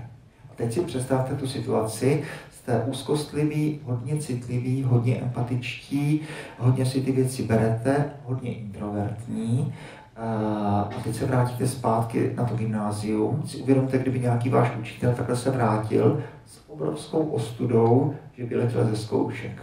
Co si budou studenti šuškat po chodbách? co si řeknou kolegové, kteří se budou jistě tvářit jako přátelsky, ale budou si říkat, no tak jo, všichni ten papír mají a ho nemáte. Co si pomyslí o mě Cyril Nap, který mě takhle k tomu dal volnou ruku a čas na studium? Co si budou vykládat po chodbách spolubratři Augustiniáni, jo, tak ten eh, ani, ani na tom gymnáziu nemůže učit. A teďka v tom nežijete. Jo? Absolutní, absolutní nezdar. A e, není to chyba okolí, je to vaše chyba. Jung říká, pokud vás potká takovýto nějaký nezdar, tak si pamatujte, že jste možná zakopli o zlato. No a co se děje dál? Cyril Nap posílá Mendla do Vídně, aby si doplnil znalosti. E, jsme v roce 1850. Mendel několik let tam studuje a zapisuje si, jak byl nadšený paleontologii, chemii, mikroskopování, e, cokoliv ho napadne a mimo jiné i kombinatoriku. Odvětví matematiky, které se zabývá, že kombinatoriku znáte, se bere na Gimplu, a najednou to Mendlovi umožňuje si vymyslet pokusy s hrachem. Kdyby Mendel uspěl, tak by o něm viděli dva, tři dneska archiváři, jo, jaký si Augustinián, co učil ve na gymnáziu, OK. Kdyby Mendel uh, uspěl, nikdo o něm neví. Protože neuspěl, ale protože potom chytl tu šanci a začal studovat uh, ve Víni, tak najednou přichází to, že do toho dal tu matematiku, dělá si ty čisté linie a 1865 publikuje Versuche. Ale to bylo díky tady tomuto. Eh, mimochodem, Mendel potom o pět let později znovu se pokouší udělat ty zkoušky a po druhé vyletí. No, proč? Tady nevíme proč. Mendel ten druhý neúspěch už nebere tak těžce. Hypotéza, ale opravdu jenom hypotéza je ta, že Mendel v tuto chvíli už ví, že 50% berete od tatínka, 50% berete od maminky. A to jste nevěděl. No, možná no, Mendel zase byl hodně takový urputný. On byl, jestli chcete, měl, byl houževnat, jestli chcete, byl strašně paličatý. Záleží na tom, co si vyberete. A Mendel věděl, že, že, že takhle to je. No, to se vůbec nevěděl no, jste se učili někdy na gymnáziu, nebo tak, jo, tak to se všechno se myslelo, že všechno dává ten otec a že matka dává jenom kyslíka živiny. Sperma, no sperma je sperma. Sít, semeno. Proč asi semeno? No, protože jako rolník sází semeno do země, muž sází semeno do ženy, no a uh, žena teda dává kyslík živiny, no a pak, pak uh, se to narodí, dítě. Jo, proto ta, ta, ta vize mužský potomek musí a Mendel věděl, že ne, že tak to není. Že 50% je taky o té maminky. To, co dneska je banální. A, takže to jsou ty šťastné neúspěchy. Nemohlo se mu stát nic lepšího. To víme my dneska v září 2020. Ale to Mendel tehdy nevěděl. Že až vás potká neúspěch a možná třeba i vaší vlastní vinou, buďte si jistí, že jste možná zakopli o zlato. Že se to všechno dá využít k dobrému. No, tak. Eh, teď uh, už bych asi ještě byl představen pět, pět minut, jo, tak jo, uh, toto je, toto je přece jenom, taky jsem trošku mluvil včera v té debatě, uh, pro vás možná ještě ne, ale jednou se vám tady tohle bude hodně, hodně, hodně, hodně hodit, tady toto. Uh, to je Jung, ne taky. Jung má takový průstřel zase a říká, uh, jo, tak dobře, tak, tak i vaše chyby a tak, ale, ale uh, uvědomte si, Chcete-li respektovat druhého člověka, musíte napřed respektovat sebe. Chcete-li mít úctu k druhému člověku, nutně musíte mít úctu k sobě. Toto je taky známe nějaké evangelium, jo, lidi jsou v nebi a teďka ten král v tom nebi jim říká, tak pojďte, výborný, žili jste super dobrý život, protože mě jste dali najíst, když jsem měl hlad, mě jste dali napít, eh, mě jste navštívili, když jsem byl nemocný a ti jsou vyjevení a říkají, to se nic takového nestalo. Ten král jim říká, ale co jste dělali jednoho pro toho z těch mých nejposlednějších, to jste dělali pro mě. Jak křesťané tady tohle budou číst velmi vážně a toto je text, na základě kterého jsou všechny ty špitály a nemocní AIDS a mentálně nemocní alkoholici a tak, jo, ta pomoc všem těm eh, bezdomovcům a ty, tyhle záležitosti. A Jung říká, jo, to je, to je jednoduché odpustit ostatním. Ale co když ten Jung doslova říká, nejhladovější ubožák a nejodpornější ze zločinců se skrývá uvnitř tvého vlastního nitra. Co s tebou bude, když mu nedáš ani tu číži studené vody? No? Takže miluj bližního svého jako sebe samého. No? Můžeš mít úctu k druhému, pokud ji máš k sobě. Možná odpustit druhému nikdy není tak komplikované, jako odpustit sama sobě. Že jsem vyletěl ve Vídní ze zkoušek že jsem nezvládl tady tohle setkání tady s touhle slečnou, že jsem neudělal maturitu, uh, etc. No, no toto je, toto je, toto je ten, ten, ten joker, už se blížíme k závěru. Eh, jsem nějak, jsem, jsem, dostal jsem hodinu, tak ale ještě jsme se představovali trošku, že jo, tak to poděkování, tak ještě tak třeba pět minut bychom mohli, jo. No, toto, je, toto je chvála Trapková. To jsou podle mého názoru nejlepší rodinní terapeuti z Liberce. A oni říkají, víte, to je, to je těžké. Říkají, když třeba, že oni pracují že, s těmi rozbitými rodinami a tak, s tím setkávají denně, říkají, no tak moje rodina byla rozbitá, teď já jsem žena, a teď jak já mám dát svým dětem to, co jsem nedostala od své vlastní maminky? Já, já, já to nemám vyzkoušený vůbec. No? A říkají, no ono v těch slamech to tak někdy je, že se tam objeví tady ta bílá vrána, tady ta osobnost, jak by řekl Jung, která najednou jde úplně proti všem a udělá si střední školu. Všichni se posmívají, že jo, studovat tak. A ta holka si to vyvzdoruje. Pak se třeba stane zázrak a potká se s klukem, který se taky vyvzdoroval. Založí rodinu, pokouší se dát svým dětem to, co, co e, nedostali oni sami, a teď se pokouší o obrovské dobrodružství, aby to udrželi a aby ty jejich děti šly zase o kousíček dál. A to není jednoduché. Technicky se tomu to říká dědičný hřích. Jo, to dědičný není ani dědičný, ani hřích, eh, jak říkají eh, z legrace teologové. A eh, nevím, jestli jste viděli tady ten film, to je samozřejmě obrovský podobenství. Jo, a krásný podobenství. To. Já nechodím do kina často, tak já jsem začal brečet už tady té scény a doplakal jsem to strašně do, do, do, do finále. To je hlavní hrdina, je tady ten Joker, jste možná viděli. Velmi dobrý člověk, zlaté srdce, krásně se stará o maminku, srdce na dlaní, chce, aby všichni byli šťastní, ti lidi a tak, a je mentálně nemocný. Tak to vidí tak jako jednoduše a opravdu chce dávat tu radost a tak. A, a tím, že je mentálně nemocný, tak je taky strašně zranitelný, protože každý se mu beztrestně posmívá. Ta čeština to má, jo, to se říká, že my nemáme uh, people with disabilities, to říkají Britové. My máme blázna, který je prosmích, nebo šílence, ze kterého máte strach. Když to je blázen, na něj můžete házet blato nebo nadávky, to je jedno. No, můžete posmívat, ne a tak, jo, blázen. No, a to je tady tam, tak to je ta úvodní scéna, možná si to vzpomínáte, eh, on, aby vydělal nějaké peníze, tak, takže, tak toho moc nemůže dělat, je mentálně eh, nemocný, tak tady má tady tu ceduli a tam je nějaký obchod s gramodeskami, který má výprodej, tak jenom takhle láká, že jo, ty, ty, ty eh, chodce. A eh, nějaká skupina výrost, výrostků mu to ukradne tu ceduli a baví se, že jo, tak on je pronásleduje a jde do nějaké um, zastrčené uličky a ti výrosty se obrátí a strašně ho zmlátí, zbíjí ho, teče mu krev a všechno. Se na to díváte a berete skauta. Tak si řeknete, aha, aha, aha. Tak tady ti 16-letí výrostci mají někde nějaké rodiče, chodí do nějaké školy a kdyby chodili třeba do nějakého skautského oddílu, třeba by takový nebyli. No, to, že takový jsou, že to se stalo, to není jen tak, to není z vákua, to není nějaké zlo z vesmíru. To je zlo, které udělali normální lidi. No?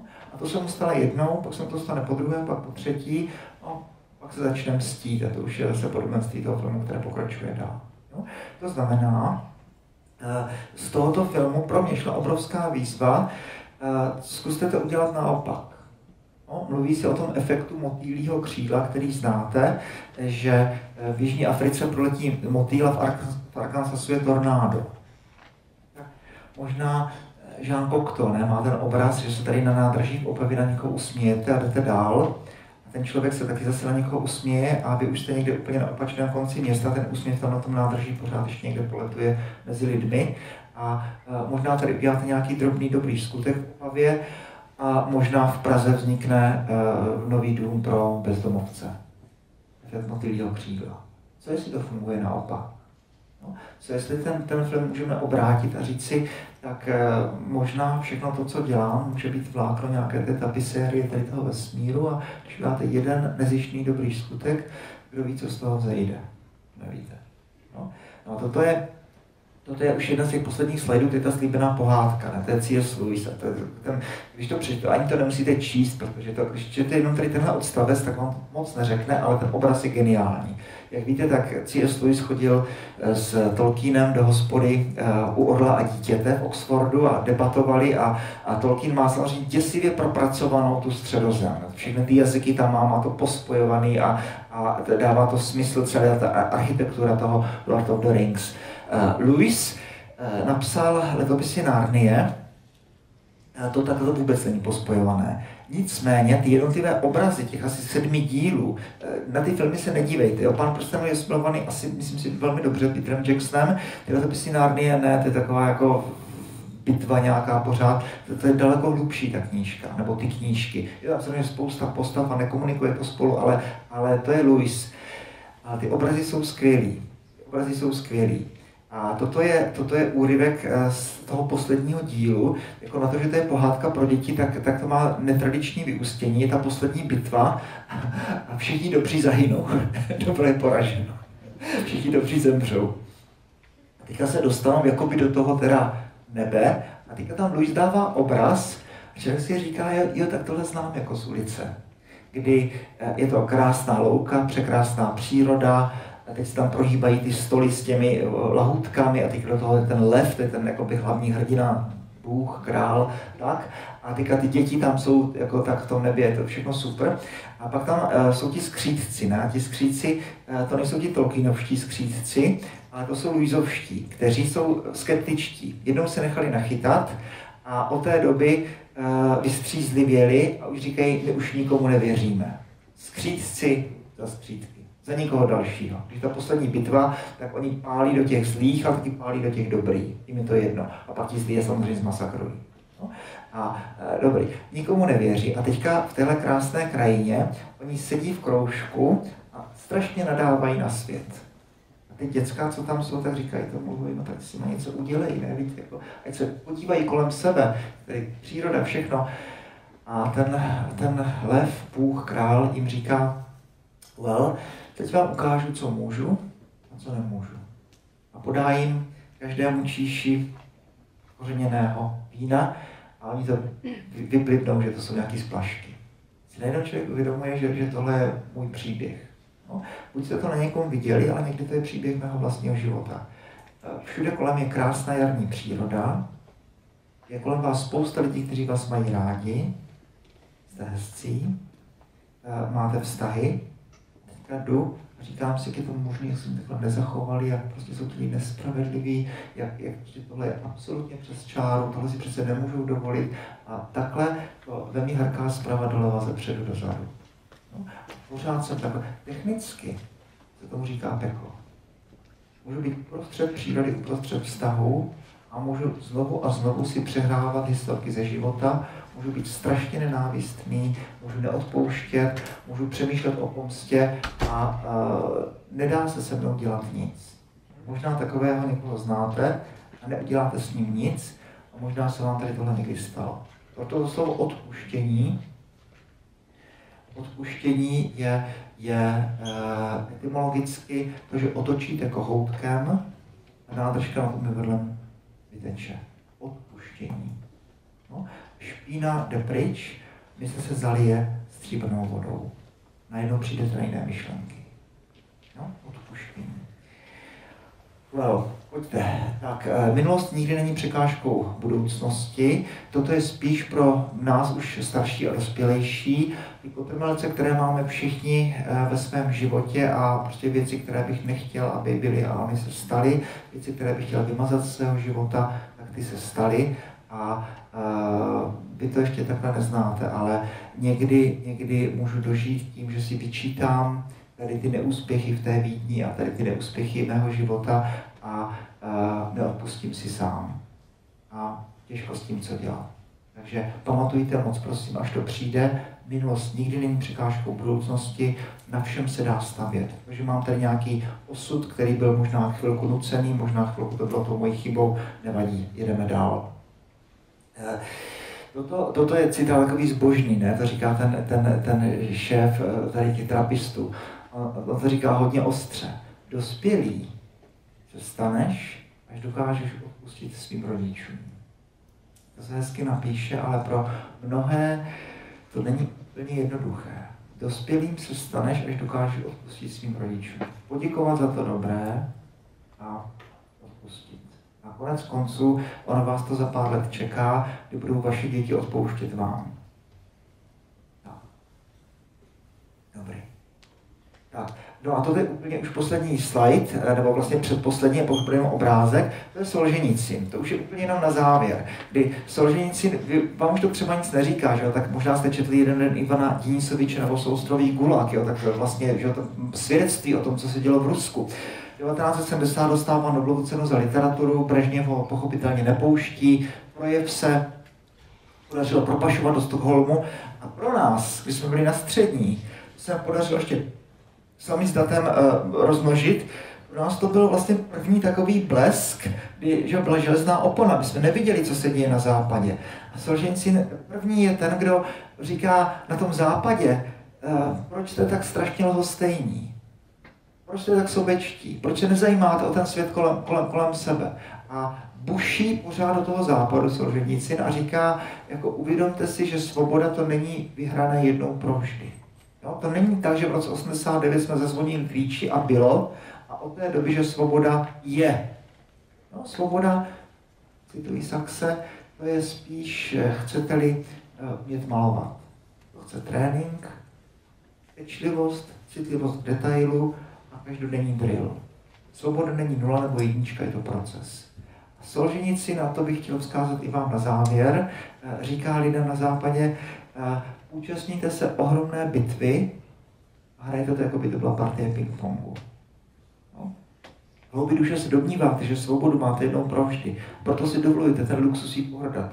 Účastníte se ohromné bitvy a chováte se, jako by šlo partii ping-pongu. Zahrají si, prohraju, vyhraju, je to jedno. No. A toto by mohl být můj vzkaz. No.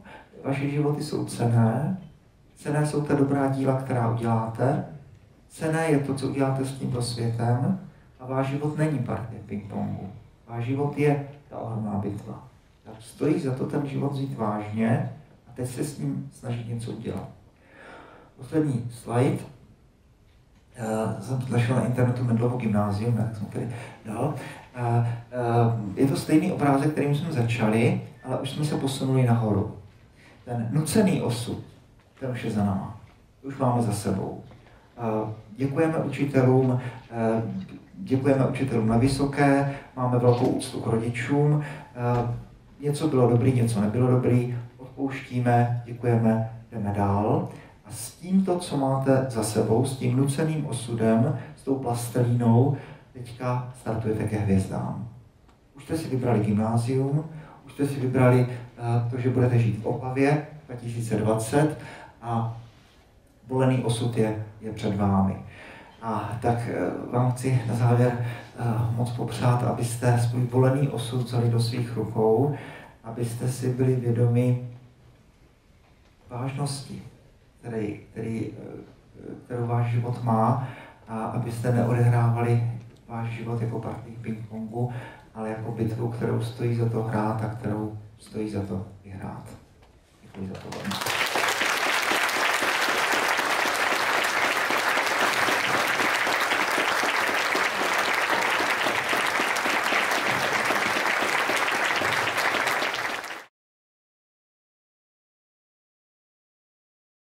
Si dovolím diskuzi začít. Pane doktore, znám jeden váš, myslím si, poměrně oblíbený citát. Dneska nezazněla přednášce, ale pokusím se ho zreplikovat. Bůh je jako pramen, ze kterého, si, ze kterého si odnesu tolik, jak velkou si donesu nádobu. Chci-li málo, dostanu málo, chci-li hodně, dostanu hodně. A já jsem se vás chtěl zeptat, jestli existuje nějaká hranice, kolik toho vlastně můžu chtít, jestli už potom nebudu někdy chamtivý, nebo... Ne, ne, ne, ne, ne, ne, ne. Uh, jo, jo, to není můj citát, ne, to není, to, to není můj citát, to je, to je Juan de la Cruz, ne, to je, to je Jan Kříže, Španěl 16. století a, a když běžíte ke kapli, kde je pohřbený, tak tam je taková zeď porostlá řečťanem a tam najednou uh, běžíte, jsem neměl čas, je asi hodinu volna, a najednou ten citát vás úplně jako zarazí, zarazí v běhu. Dios se como la fuente del cual cada uno coge como lleva un vaso. Bůh jako pramen, ze kterého každý si odnese tolik, jak velkou si přinese nádobu. Za tu chvíli pochopil, že e, tady je řeč o vašem životě. To nemusí být jenom tahle přednáš, ale třeba i e, roky, které strávíte na gymnáziu. To je pramen, ze kterého si odnesete tolik, jak velkou si přinesete nádobu. Čekáte hodně, dostanete hodně. Čekáte málo, dostanete málo. Nečekáte nic, nedostanete no, že, to je, že to je život sám. No, že to tom, jsem učitel, tak já mám ty asociace, já jsem o tom mluvil i včera, že to, Tomáše to čeká v prváku, ale až v letním semestru, to tohle, jo? Jo, jo to, je, to, je, to je geniální, brilantní postřeh Aristotela, který pochopil, že etika je umění žít. The art of living. Jo, a teď co to znamená? Eh, že život je druh umění. Že my jsme sem všichni byli do toho života nějak vržení. Se nikdo neptal, jestli se chci narodit nebo nechci, jestli chci být chlapec nebo dívka. Prostě najednou jsem přistál jako astronaut. Jo, pan Vácha, paní Váchová, jo, dobrý. Jo, a uh, chodíte do školy, ze školy, chodíte někam třeba se bavit nebo tak, potom zase v létě někam ven na tábory. A většinou o tom člověk nepřemýšlí, protože jsou pořád nějaké věci nebo úkoly, eh, které, které neplníte nebo kam chodíte. A Aristoteles říká, zastav se, dělej dva kroky zpátky a teď se podívej na svůj život, jako by to bylo umělecké dílo. Každé slovo, které řekneš, každý čin, který uděláš, to je tak štěstcem. A teď se člověče snaž, aby v poslední den tvého života ten obraz byl co nejkrásnější. Život je pramen, ze kterého si odneseš tolik, jak, jak mnoho čekáš. Když čekáš nekonečně, dostaneš nekonečně. To, nemá limity. No?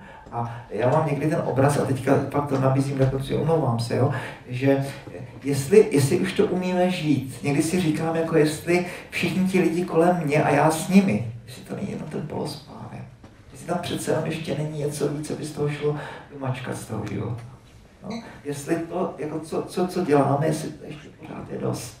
Jestli, jestli se po mně nechce, abych zvedl oči. Jestli tady jako nepřehrabuji v ruce těch pár nikláků a, a nevšímám si, že kolem tečou ty zlaté vodopády. To je výzva možná pro nás. Takže eh, odpovídám na tu otázku, nemá to limity. Nemá to limity. Dostaneš tolik, kolik chceš. Je dobrý, ne? Já bych pro vás měla otázku, jako pro římskokatolického kněze. Co je podle vás největším dnešním problémem církve? no, eh, Saška nebo... Eh, staska, staska, staska, staska. Eh, no. No, tak to já na to odpovím takovou oklikou a vlastně na to neodpovím a trochu té otázky uteču, a to říkám takhle do, dopředu.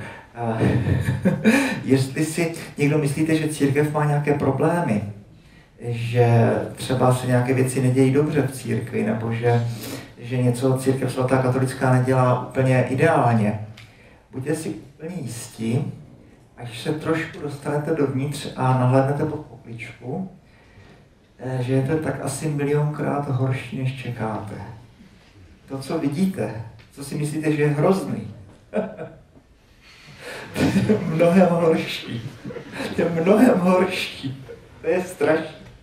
ale o tom nechci mluvit, jo, takže, takže to, to, ale chci mluvit o tom, že uh, toto je, toto je, že tak já žiju v Praze a z důvodu, které jsou mimo mojí fantazii, tak, tak tam přichází dnes těch rozhlasů a televizí veřejných i soukromých a vždycky chtějí nějaké ty rozhovory a, a velmi často ti redaktoři, ale to jim nemůžete vyčítat, protože oni potřebují teda ten konflikt, ten clash, jo, ten duel potřebují, tak oni velmi často to vypálí, takže říkají, Dominik Duka říká tady toto, a to je strašný nesmysl přece.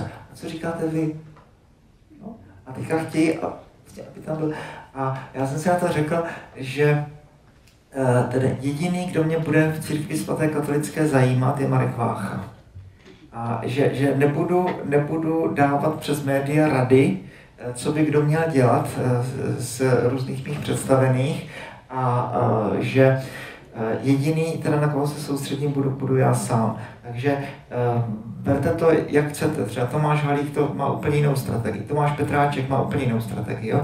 Já jsem si řekl, že, že um, to, to prostě takhle jako dělat, dělat nebudu. Takže na tu první otázku odpovídám, jestli si myslíte, že jsou věci v církvi svaté katolické, které nejsou dobře, tak vás si opravdu upřímně upozornit, že jenom kloužete po poruchu věcí a že jak se dostanete do zákulisí, tak je to hrozný. Fakt je to hrozný. Ale na straně druhé, že uh, asi jako fakt nechci, nechci uh, radit druhým, co má dělat a nechci dávat nevyžádané rady a nechci poukazovat na, nebo říkat své názory na pracovní z biskupské konference a další věci. No. A nyní máme první možnost pro vás, pro publikum, se na něco zeptat. Tam vzadu.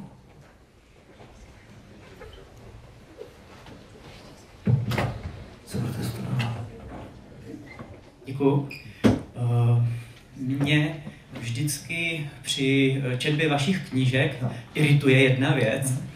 A eh, to je to krásné, jak motivujete i při té přednášce. Eh, pojďte letat, buďte jako orly, jeďte do Argentiny, jeďte do New Yorku a takhle. A potom zase na druhou stranu říkáte, že buďte na tom svém místě, kde máte být, starejte se právě o tu svoji babičku, eh, vychovávejte děti, eh, každá ta ztracená vteřinka u kolébky malého dítěte eh, je prostě efekt motylího křídla, že vaše dítě mhm. potom zase třeba změní svět. A mnou to vždycky potom tak úplně mává na obě dvě strany. Jo. A vždycky si říkám, to se, mu to, to se mu to říká, to se mu to píše do té knížky. Aha. Jedna, jedna kapitolka je na tohle téma, Aha. druhá zase na to druhé. A mně se to oboje strašně líbí a oboje mě to jako láká. A říkám si, jak to mám poznat. Jak, eh, no. jak to rozlišit, eh, no. kdy má člověk létat jako orel a kdy se má zavrtat jako krtek do nějaké té jo. Uh, jo. jednoduché spirituality nebo, jo. nebo jednoduchého úkolu. Uh, tak to, to je můj dotaz. Děkuji. Moc, moc za ten dotaz děkuju. Uh, tak samozřejmě papír se všechno, to je dobrý, než to píšete. A, ale, ale e, e, za tou otázkou je to si velmi důležitého. A to je to, že každý z nás máme svůj životní trajektorii a že tady vám opravdu nikdo nepomůže. Mám pořád obraz té mé studentky, um, občas to říkám na přednáškách, která jsem učil, ne, tak tam mě viděla nějaký nějaký takový vzor nebo či co. A teďka za mnou přišla a říkala, uh, nebo ještě jiný student předtím říkal na Gimplu, uh, mám se hlásit na tuhle vysokou školu nebo na tuhle vysokou školu. A vy víte, že když řeknete na tuhle, ten student to udělá. A přišla tady ta studentka a říkala, mám chodit tady s tím klukem z té vedlejší třídy, nebo co si o tom myslíš? No. A uh, jestli máte v sobě kouska rozumu, dostanete se někdy do takové situace, na to nesmíte odpovědět. Na to nesmíte odpovědět, protože uh, jinak ten člověk se nestane dospělý. Rozhodni se, všichni to ze vztahu znáte, uh, začnu s někým chodit, funguje to a po čase zjistíte, že ten druhý má prostě určitý vlastnosti, které se mi nezdají a buď si řeknete po čase, nevadí nám to, zkusíme to překonat, láska to zvládne, anebo si po čase řeknete, s velikou úctou a e, s velikou tolerancí se rozejdeme a zkusíme to jinde. No to nevíte ten první den. To nemůžete vědět, že nejste, nejste bohové, abyste měli všechny informace. Takže na tuhle otázku žijete svoje vlastní životy, svoje vlastní trajektorie, rozhodujte se sami, naučte se se rozhodovat sami a naučte se i to, že občas vaše rozhodování nebude, nebude dobré. Bůh po nás nechce, abychom nehřešili. Jo? A, a občas, občas samozřejmě to rozhodnutí bude mít dost fatální následky, ale jinak se nestanete dospělými. No? To znamená, já jsem dalek, abych vám uh, říkal tady ty recepty, recepty na život. Uh, je před vámi 10 000 cest, rozhodněte se velice pečlivě. Máte jeden výstřel, jednu šanci. Včera jsem o tom mluvil, to byl nějaký, to vlastně v té přednášce, to byl ten Sachs, to říká geniálně. On říká ten ús, to je vlastně kolektivní psychoterapie. Já znáte Sofoklovu tragédii. Vlastně jdete z toho amfiteátru a kámen ze srdce vám spadne. Protože jedna rovina tady té tragédie je, že v tom vesmíru už je to rozhodnutí. No? Oidipovi je předpovězeno z nějakých důvodů, že zabije otce, ožení se s matkou a Oidipus dělá celý život, protože to ví, dělá celý život to, aby se to nestalo. Je to ta detektivka, kde už na začátku víte, kdo je vrah a jak to dopadne a teď vlastně celou tu knížku jenom se k tomu blížíte a zajímá vás, jak se to vlastně naskládá tady tohle. To je přesně tady ta Sofoklova tragédie. A opravdu Oidipus na závěr svého života zjistí, že Jokaste, jeho manželka, jeho a že voska, kterého kdysi dávno zabil, byl jeho vlastní otec Lajos. A najednou zjistíte, že vlastně děláte, co děláte, tak ono už je to někde nalinkované. Jsem říká tím, tím bandánem Oidipa, ten Hamlet. Hamlet Shakespeareův, jo, znáte, jo. Tak Hamlet váha, strašlivě váha, mám to udělat, mám to udělat. Že Hamlet ví, že takhle trošičku pohnete pravidlem doprava, až život bude mít jinou trajektorii. Že centrum té tragédie není v tom chladném vesmíru, ale je uvnitř vašeho srdce. A že budoucnost tvoříte. No? A že když se rozhodnete pro A, bude to mít tyhle konsekvence, rozhodnete se pro B, bude to mít tady tyhle konsekvence. Jo? Proto uh, můžete až drze říct, budoucnost neexistuje. Jo? To, co ta tradice židovská, židovsko-křesťanská možná, má proti těm věštcům. Možná, já jsem to neviděl ani vteřinu, ale říkám si, už jednou se na to musím podívat, někdy na první, někdy v hloubi noci, pořád volejte věštce, zavoláte si a, a teďka oni vám řeknou, jak to bude a pomocí různých takových jako pseudovědeckých, to je vlastně takové jako paralela na vědu. Mají tam ty křišťálové koule, taky máme, mám ty mikroskopy, oni mají zase ty koule, my máme, eh, my máme CT, oni mají zase toho tam třeba tu kočku, nebo toho havrana, nebo ty karty a, to, a řeknou vám, jak to bude. A, a, a jo, problém toho je, že my nejsme píšci na šachovnici. Že ta budoucnost neexistuje, že v tomhle to je lež že to není někde napsané, že mi to někdo vyvěští z karet, eh, jak se bude odehrávat můj život, ale že ten život je otevřený. Že, že to skutečně záleží na vás. Že ta budoucnost neexistuje. No, války byly, války jsou, nikde není napsané, že války budou. Nikde není napsané, že se nám nepodaří, vaší generaci, že se nepodaří znovu zalesnit Amazonii. Není napsané že nikde, že se vaší generaci nezdaří znovu zalesnit Madagaskar a až přijdou další covidy, takže že je zvládnete mnohem lépe než ta moje generace.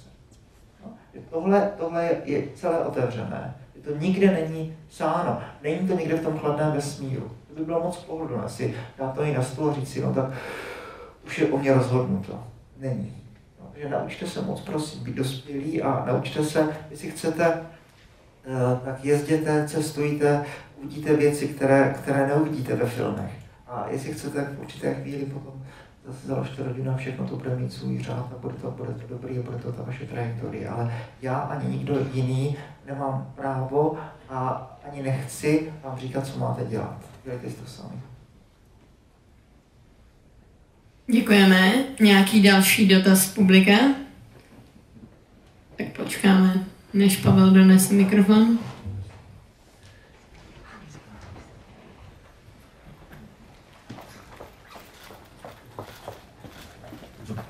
Den, já jsem tam.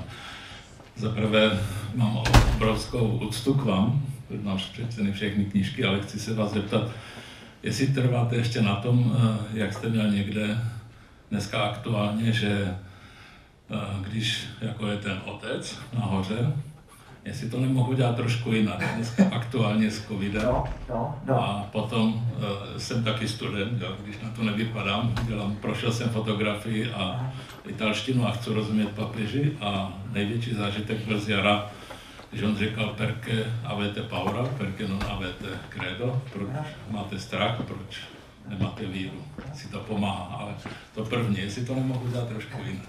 Jo, jo. No, tak já si kolikrát říkám, že bych rád Bohu poradil, že bych mu dobře poradil.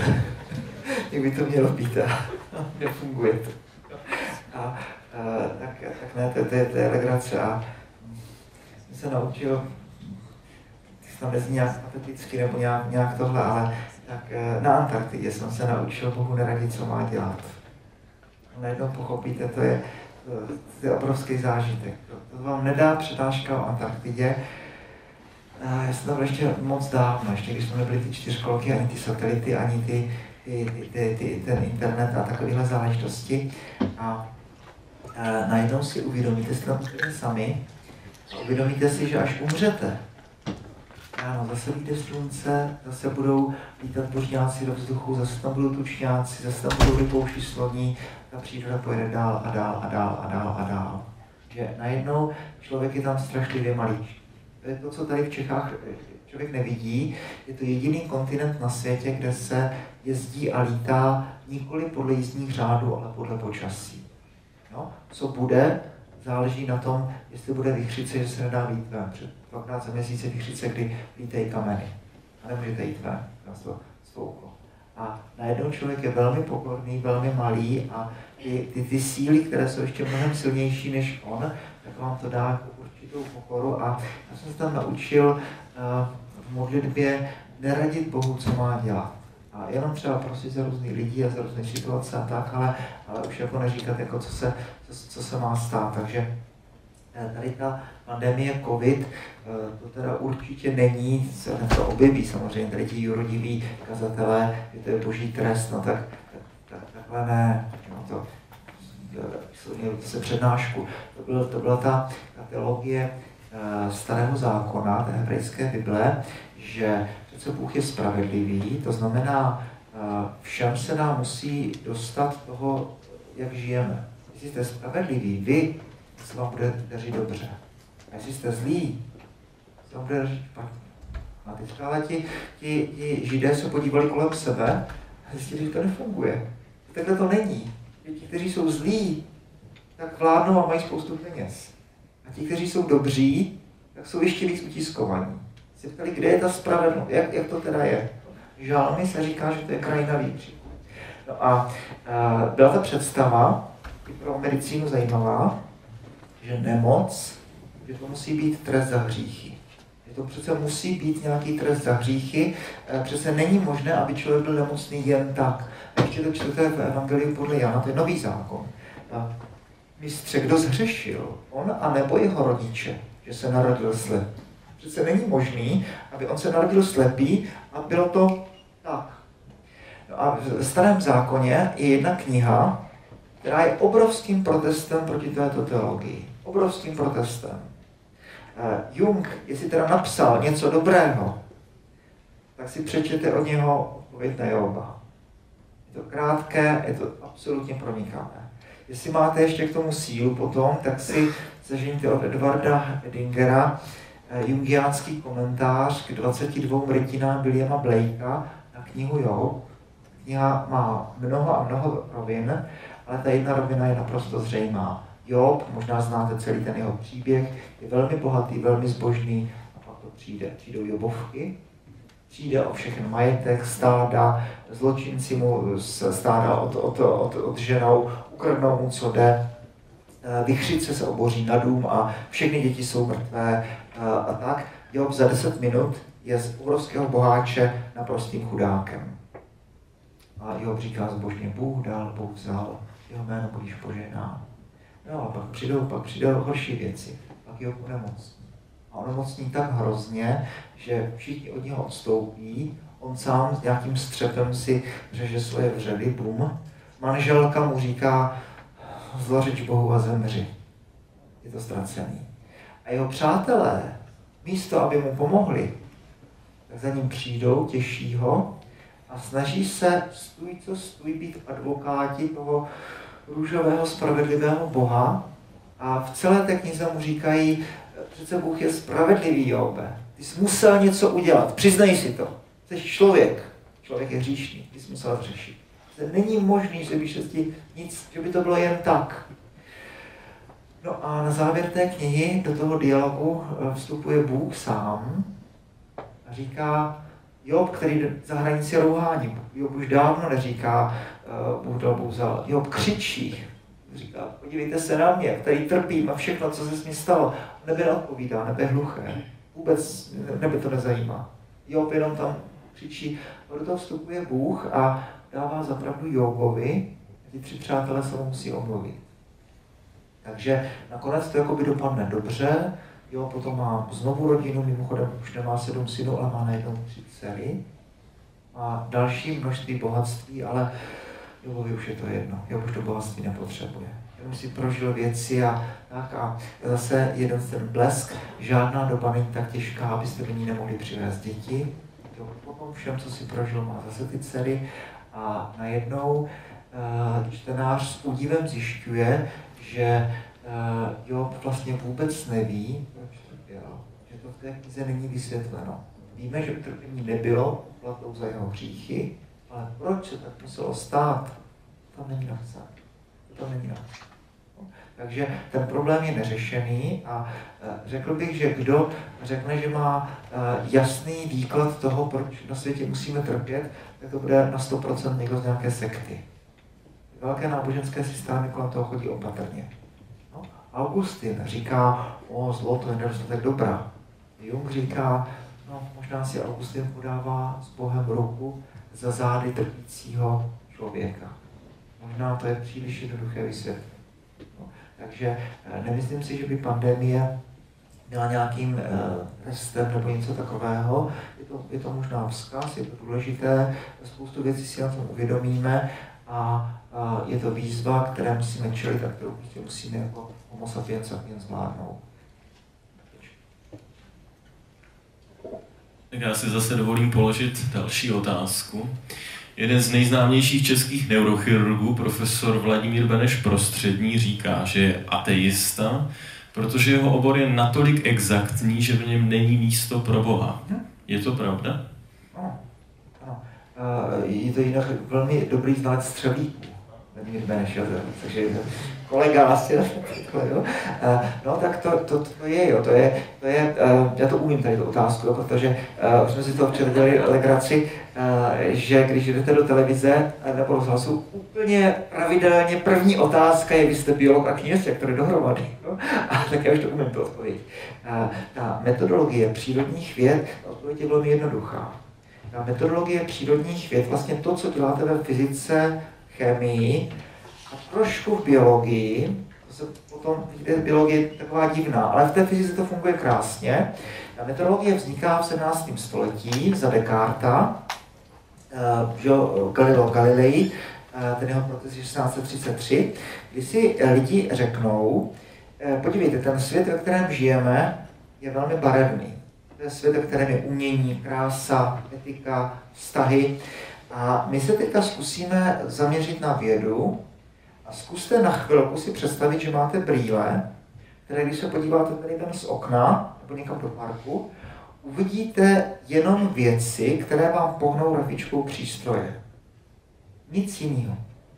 To znamená, vyjdu ven, mám hodinky, pravítko, mikroskop, dalekohled.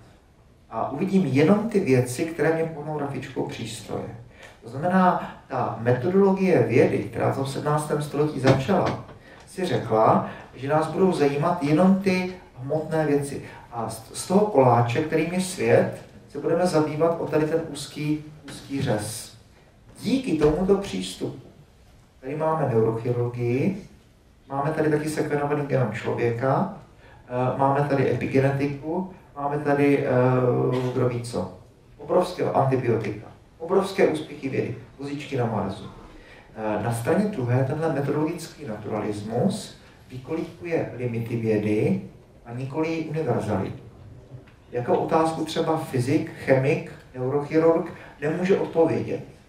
Třeba e, problém krásy. Krása není měřitelná. Problém etiky. Mám se chovat dobře? Co je to dobro? Co je to vlastně to dobro? Chesterton se tomu posmívá, říká, když někdo na 300 jardů trefí eh, babičku pistolí, tak je to určitě dobrý střelec a asi ne dobrý člověk. No? Když je Petr Čech dobrý brankář, tak je to taky dobrý člověk, no, si jo, Petr Čech asi je dobrý člověk, ale, ale jo, co, jo. Takže uh, všechny ty problémy umění, etiky, estetiky, prostě to ta věda nedá. Takže říká se, že věda se snaží rozmontovat svět na součástky, na šroubky a ptá se, z čeho se to skládá. A pak je to filozofie, znamená teologie, která to se smontuje na zpátky a ptá se, jaký to má smysl. Jo? A té neurochirurgie to je strašně zajímavý, protože biologie je zvláštní. Biologie má totiž v sobě to, co všichni víte a co je neuchopitelné, a to je problém, strašný problém, neřešit, neřešený, nebo řešený, ale nepohnuli jsme se za třeba 100 let o milimetr. To je problém našeho vědomí. To je problém našeho vědomí. Problém kválí. Jo? Když si představím Eiffelovku, představuje v mé hlavě, nebo je jinde. Když se vás zeptám, co je to červeň, každý odpoví, no to jasně, to je světlo v lové délce 680 nanometrů. To není červeň. To je definice fyzikálních podmínek, za kterých já mám věm červeně. Ale možná, že moje červeň, vaše červeň, jsou úplně jiné představy. Někdy si maminka nebo učitelé řekli, že jahoda, krev a v šátek, že to je rod nebo rouge francouzsky, nebo red. Ale co to vlastně je? Možná ta moje červeň je úplně jiná než, než, než, než ta vaše. No? Frank Jackson má ten obraz, já to řeknu krátce, uh, to je velmi slavný, to na YouTube taky všel, to je velmi slavný filozoficky. Holčička Mary, ne? Mary, hlavní hrdinka. To je maličká holčička a je neobyčejně zvídavá. A čte si ty encyklopedie, aby ji nikdo nerušil, tak to vždycky dělá ve sklepě. A ten sklep uh, je jenom černobílý. Takže ona má černobílou encyklopedii, černobílou televizi a všechno vidí černobíle. A zejména se zajímá o neurofyziologii Mary.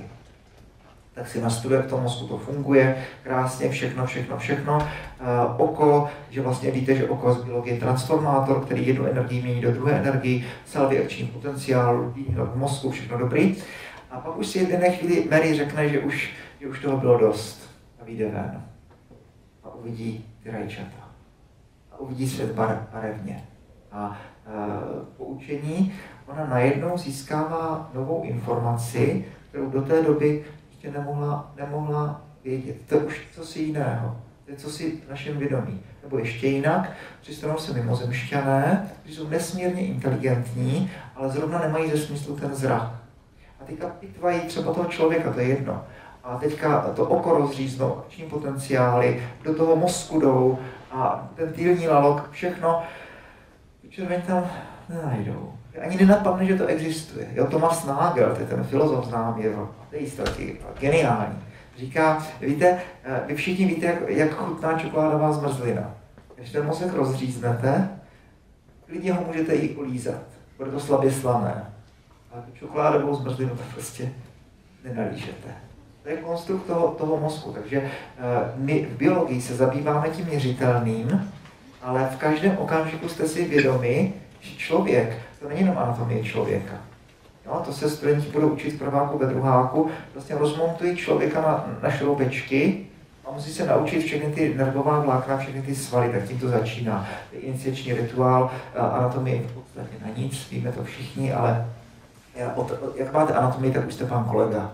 No, to je jako, jo, to je vkládání rukou, to je imposition de main, jo, to je prostě jak lovci a sběrači, prostě musíte zabít lva, tak máte anatomii a 4000 pojmů, tak vlastně nový jazyk se naučíte a OK, máte, už to potom nebudete potřebovat, ale máte anatomii, tak to už jako je dobrý, jo, a, ale to, to, to, no. takže uh, to rozmontujete člověka na součástky, ale potom se ho snažíte zase smontovat dohromady, no a teďka se ptáte, jaký to má smysl. A takže že ve fyzice ten metodologický naturalismus dává, dává smysl. biologii už opatrně. No, tam samozřejmě šimpanzi mají prožívání, veleryby a e, Hans Jonas říká, že ono to nějak tak jako vyšumí až někde k těm bakteriím a, a jo, nikdo nevíme, co to vlastně je a jak tady tohle definovat. A jo, když se sekvenoval 2005 genom šimpanze, Baltimore, to píše taková, taková váha, říkal, všichni jsme, nám tekl po zádech studený pot, vzpomínal jsem to četl v Nature. A teď jsme hledali, jestli se najde nějaký gen pro lidství. Jo, máte ten string těch písmenek DNA šimpanze a máte DNA člověka, to už bylo 2003 pro lidský genom. A teď jako sledujete v těch písmenkách, jestli tam najdete nějaký vzkaz, že tenhle druh vám pomaluje křesťanskou kapli tím, co pomaluje, a ten druhý druh, že to, že to neumí, že to nedá. Nic se nenašlo. Nic se nenašlo. Buď se díváme špatně, nebo to je někde jinde, nebo to tam není, ale uh, když se díváte jenom na písmenka DNA, tak to nevyvodíte, ten jeden druh to umí, druhý druh to neumí. No, takže, uh, abych se obloukem vrátil k té odpovědi, ve vědě, v neurochirurgii se pořád zabýváme měřitelnými fenomény. Byť zkoumám funkci mozku, zkoumám oční potenciály, zkoumám neurotransmitery a podobně, ale to mě pořád ještě nic neřekne o té červenosti, o té chuti čokoládové zmrzliny, protože to už jsou fenomény, které, které všichni známe ze zkušenosti první osoby, ale nejsou měřitelné. No? Moc, svobodu, se nedá nějak jako, jako naměřit někde v tom, v tom mozku. Takže eh, to, že slavný vědec o sobě řekne, že je věřící, nebo že je ateista, tak už jako dělá výpravu mimo metodologii své vědy. No a toto říkáme napřed na, na, na některých, po naše věci, že když učím biologii, tak učím biologii, tak musím učit o DNA a už si nesmím dovolit takové výpady do světa filozofie, kdybych třeba v hodině biologie studentům řekl, svět má smysl. Svět nemá smysl. Bůh je, Bůh není. No, to už velmi amatérsky Eh, filozofují, anebo se dokonce pouští do teologie. Takže v hodinách biologie mám mluvit o DNA, promotorech, DNA boxech, eh, epigenetice, chcete-li, a o všem tom metodologicky naturalistickém, o tom měřitelném, o písmenkách DNA. Vyvozovat z toho potom nějaké svoje vlastní filozofické závěry, OK, to můžu uh, po přestáv, nebo na přestávce někde u automatu na kávu. A to by si, by si neměl dovolit těch, těch hodinách. Takže Vladimír Beneš tady tohle říká, to je samozřejmě naprosto jako uh, v pořádku. Uh, nicméně bych to úplně nespojoval s tou videou, kterou, kterou dělám. Ještě v kontextu vaší odpovědi napadla jedna otázka. My se tady snažíme tedy poznávat svět kolem nás, máme tady na to různé nástroje, fyziku, biologii, chemii, společenské vědy a tak dále.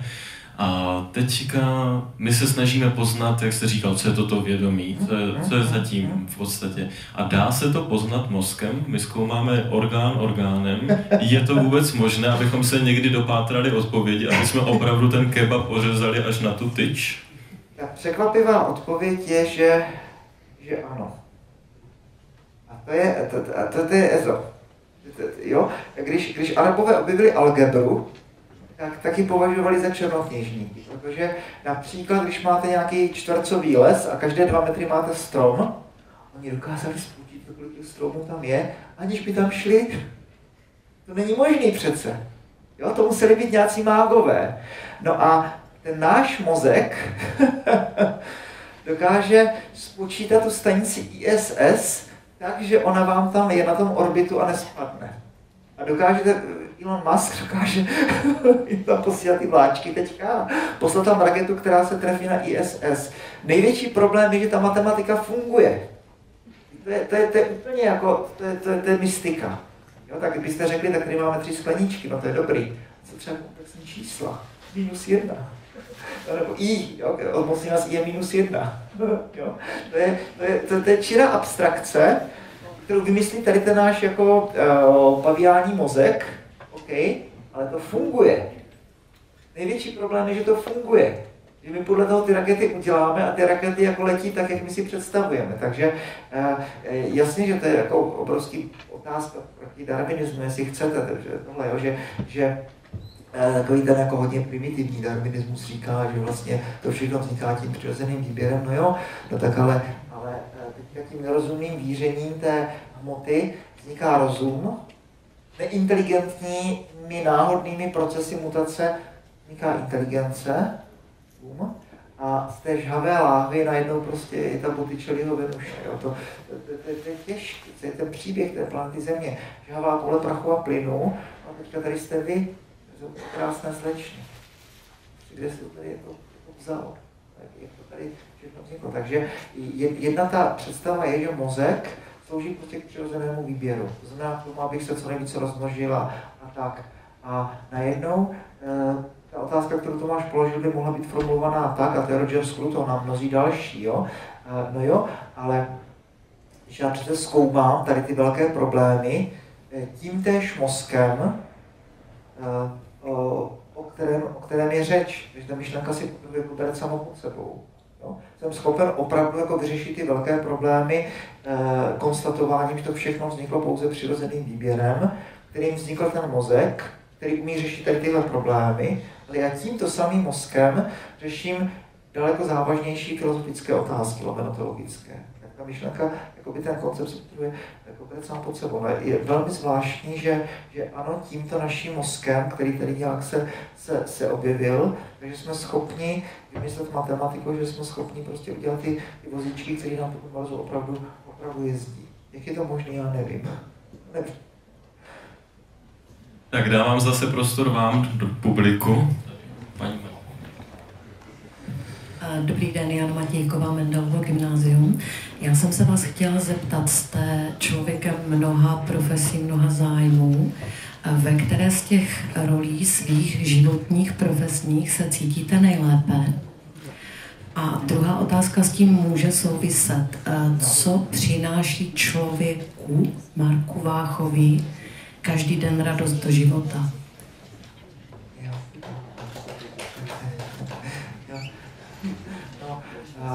já to odpovídám tak, že tak jako si myslím, že svět je jeden.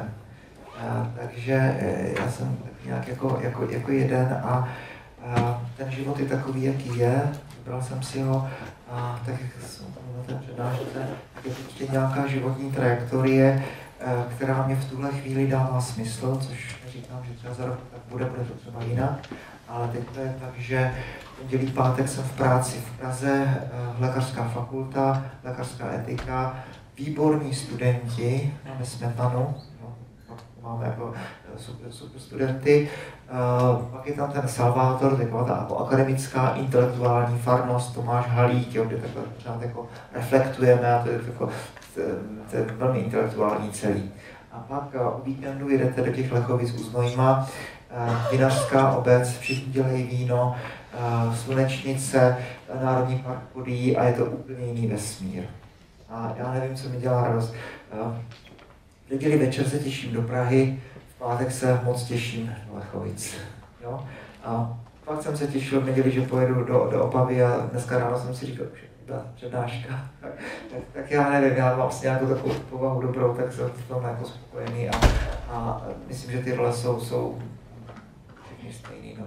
Jo, to je, otázka pro vás. Budete, budete cítit dobře, jak budete dělat své profese, až budete otcové, až budete matky, až budete rodiče, všechno vám bude dávat smysl.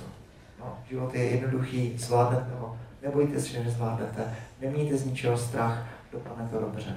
Nebojte se ničeho. Nebojte se ničeho. Zvládnete, zvládnete byt, zvládnete rodinu, zvládnete vychovat děti. Nebojte se ničeho.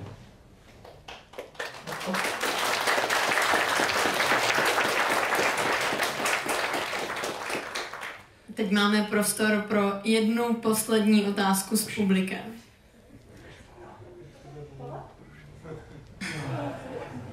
Bohužel mikrofon je blíže. Uh, jo, funguje to. Uh, Orko, moc děkuji za krásnou přednášku. Uh, běžely mě v hlavě dvě věci. Jeden je taková moje životní nejistota od Luise z letopisu Narnie, z plavby jitřního poutníka. Myslím si, že tam to je, to uděláte jeden dobrý skutek a na základě jeho pak musíte udělat celou řadu dalších. Ale co je takový můj dotaz, vyšla knížka před lety Pierre de Chardin a jezuity Chuť žít. A tam je krásný, nebo to, co já si z toho pamatuju, my křesťané jsme tak fascinováni zlem, že zapomínáme vidět to krásno. A mě by zajímalo, co podle tebe je to potřeba jistoty nebo skepse, že uhýbáme k takovým navyklým kolejím, modelům, že i to okolí ohýbáme k tomu, aby zapadlo do našeho modelu. Jo, jo, Je to potřeba jistoty nebo skepse? jo, jo. Jistoty. Eh, Je, je, moc teda děkuji za tu otázku. Název této přednášky Chuť žít je opravdu ten Chardin. Eh, Už si netroufám vám tady tuhle knížičku doporučovat. Eh, Jestli znáte taky dramatický příběh tady tohoto francouzského jezuity, antropologa, to byl jeden ze objevitel, nebo spoluobjevitelů synantropa, eh, francouzský jezuita, který vlastně pro katolickou církev otevřel evoluční myšlenku. Chardin byl tak drzý, že, že svoji teologii si vlastně založil na, na, na evoluci. Eh, k té teologii můžete mít jako tisíc a jedna výhrad, ale to už asi není jako, jako podstatu tady této přednášky. Eh, Mně se to dostalo do rukou někdy ve 12 letech, chuť žít. Přečetl jsem to na jeden zátah a nerozuměl jsem vůbec ničemu. Vůbec ničemu.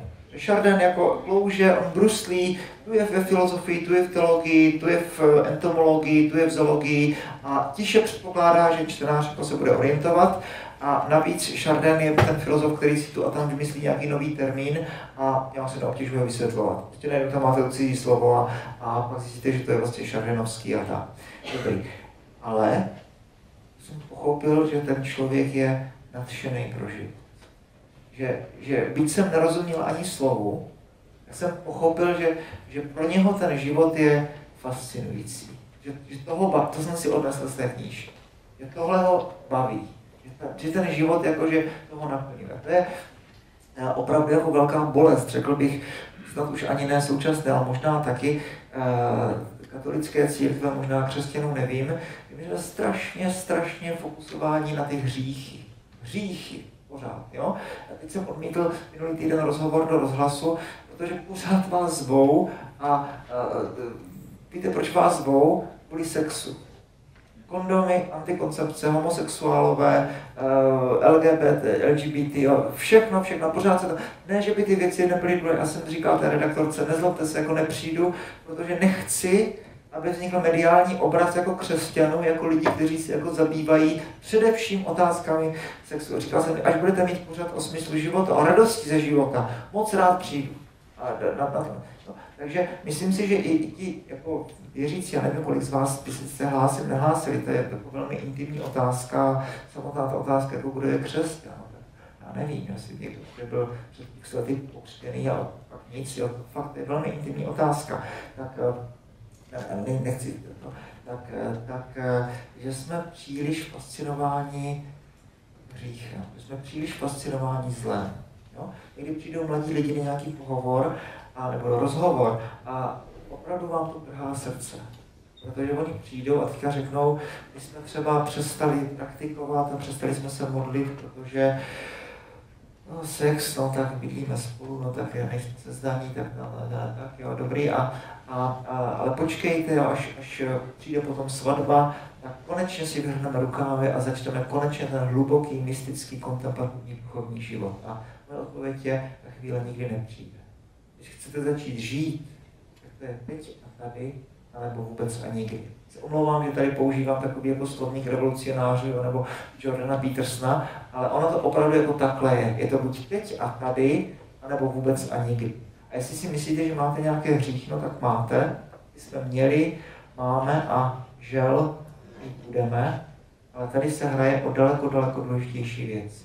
Jestli budeš čekat, až se zbavíš svých, svých různých draků a zla a, a, a svých běsů, a potom, že začneš žít, budeš čekat do smrti. Nikdy se nedočkáš. Teď je potřeba sednout na loď a vyrazit, vyrazit na oceán. Všichni jsme měli, máme, budeme.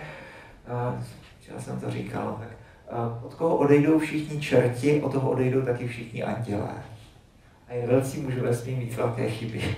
No, nebojte se toho, když máte nějaké takové věci, zase ono to dává tomu životu tu, šťávu. Jo, to se nebojte se toho, bojujte proti tomu jasně, ale čekat, až se zbavím hříchu, budete čekat rozpad. Budete čekat rozpad.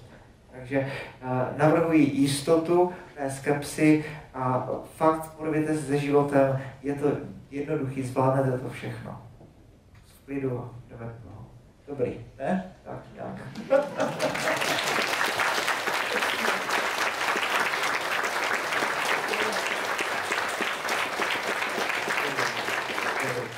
Děkujeme moc. Omlouváme se všem, na jejich dotazy ne- nevyšel čas.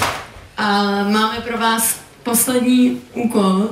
Máte před sebou aulu plnou především středoškolských studentů a jejich pedagogů. A máte teď prostor jim dát jednu zcela vyžádanou radu. Jak tato rada zní? Jo, jo, tak to teda, to mám, to mám vymýšlený teda dopředu. No? A, a, studujte, ale studujte ne proto, že chcete udělat maturitu. Studujte proto, že vám to otevírá oči. Jo, když to židovství říká, nemusíte být v nějakém náboženském kontextu, když to židovství říká, že studuje modlitba, v tom je co si hlubokého. No? Nestudujete proto, abyste se dostali na vysokou, nestudujete proto, abyste potom dobře dělali svoji, svoji profesi, ale studujete proto, že ten problém je důležitý, že ten problém je zajímavý. Že najednou vám to, vám to otevře oči pro, pro další věci. Pracujte na sobě, využívejte z učitelů to nejlepší, co v nich je. Žádný učitel není dokonalý, ale o to nejde. Se nemůžu brblat na to, že, že uh, jo, důležitý je problém, ne ten, kdo mě ho předává. No a ti učitelé jsou hodní, jsou dneska laskaví a jsou, jsou velmi empatičtí, všechny, co znám. No, využívejte je, oni vám pomůžou a oni, oni vám dají ten katapult a není pro učitele větší radost, než když vidí, že ten žák je přeroste. Fakt, jako není pro učitele větší radost. Takže moc prosím, buďte nadšení, uh, urvěte to, běžte do života, mějte pevnou vůli, pracujte na sobě a uvidíte, že život je opravdu co si krásného, co stojí za to. Se omlouvám, že mluvím takhle pateticky, ale je to tak. Je krásný podzim teďka, tak jděte do toho a, următător. Așa să.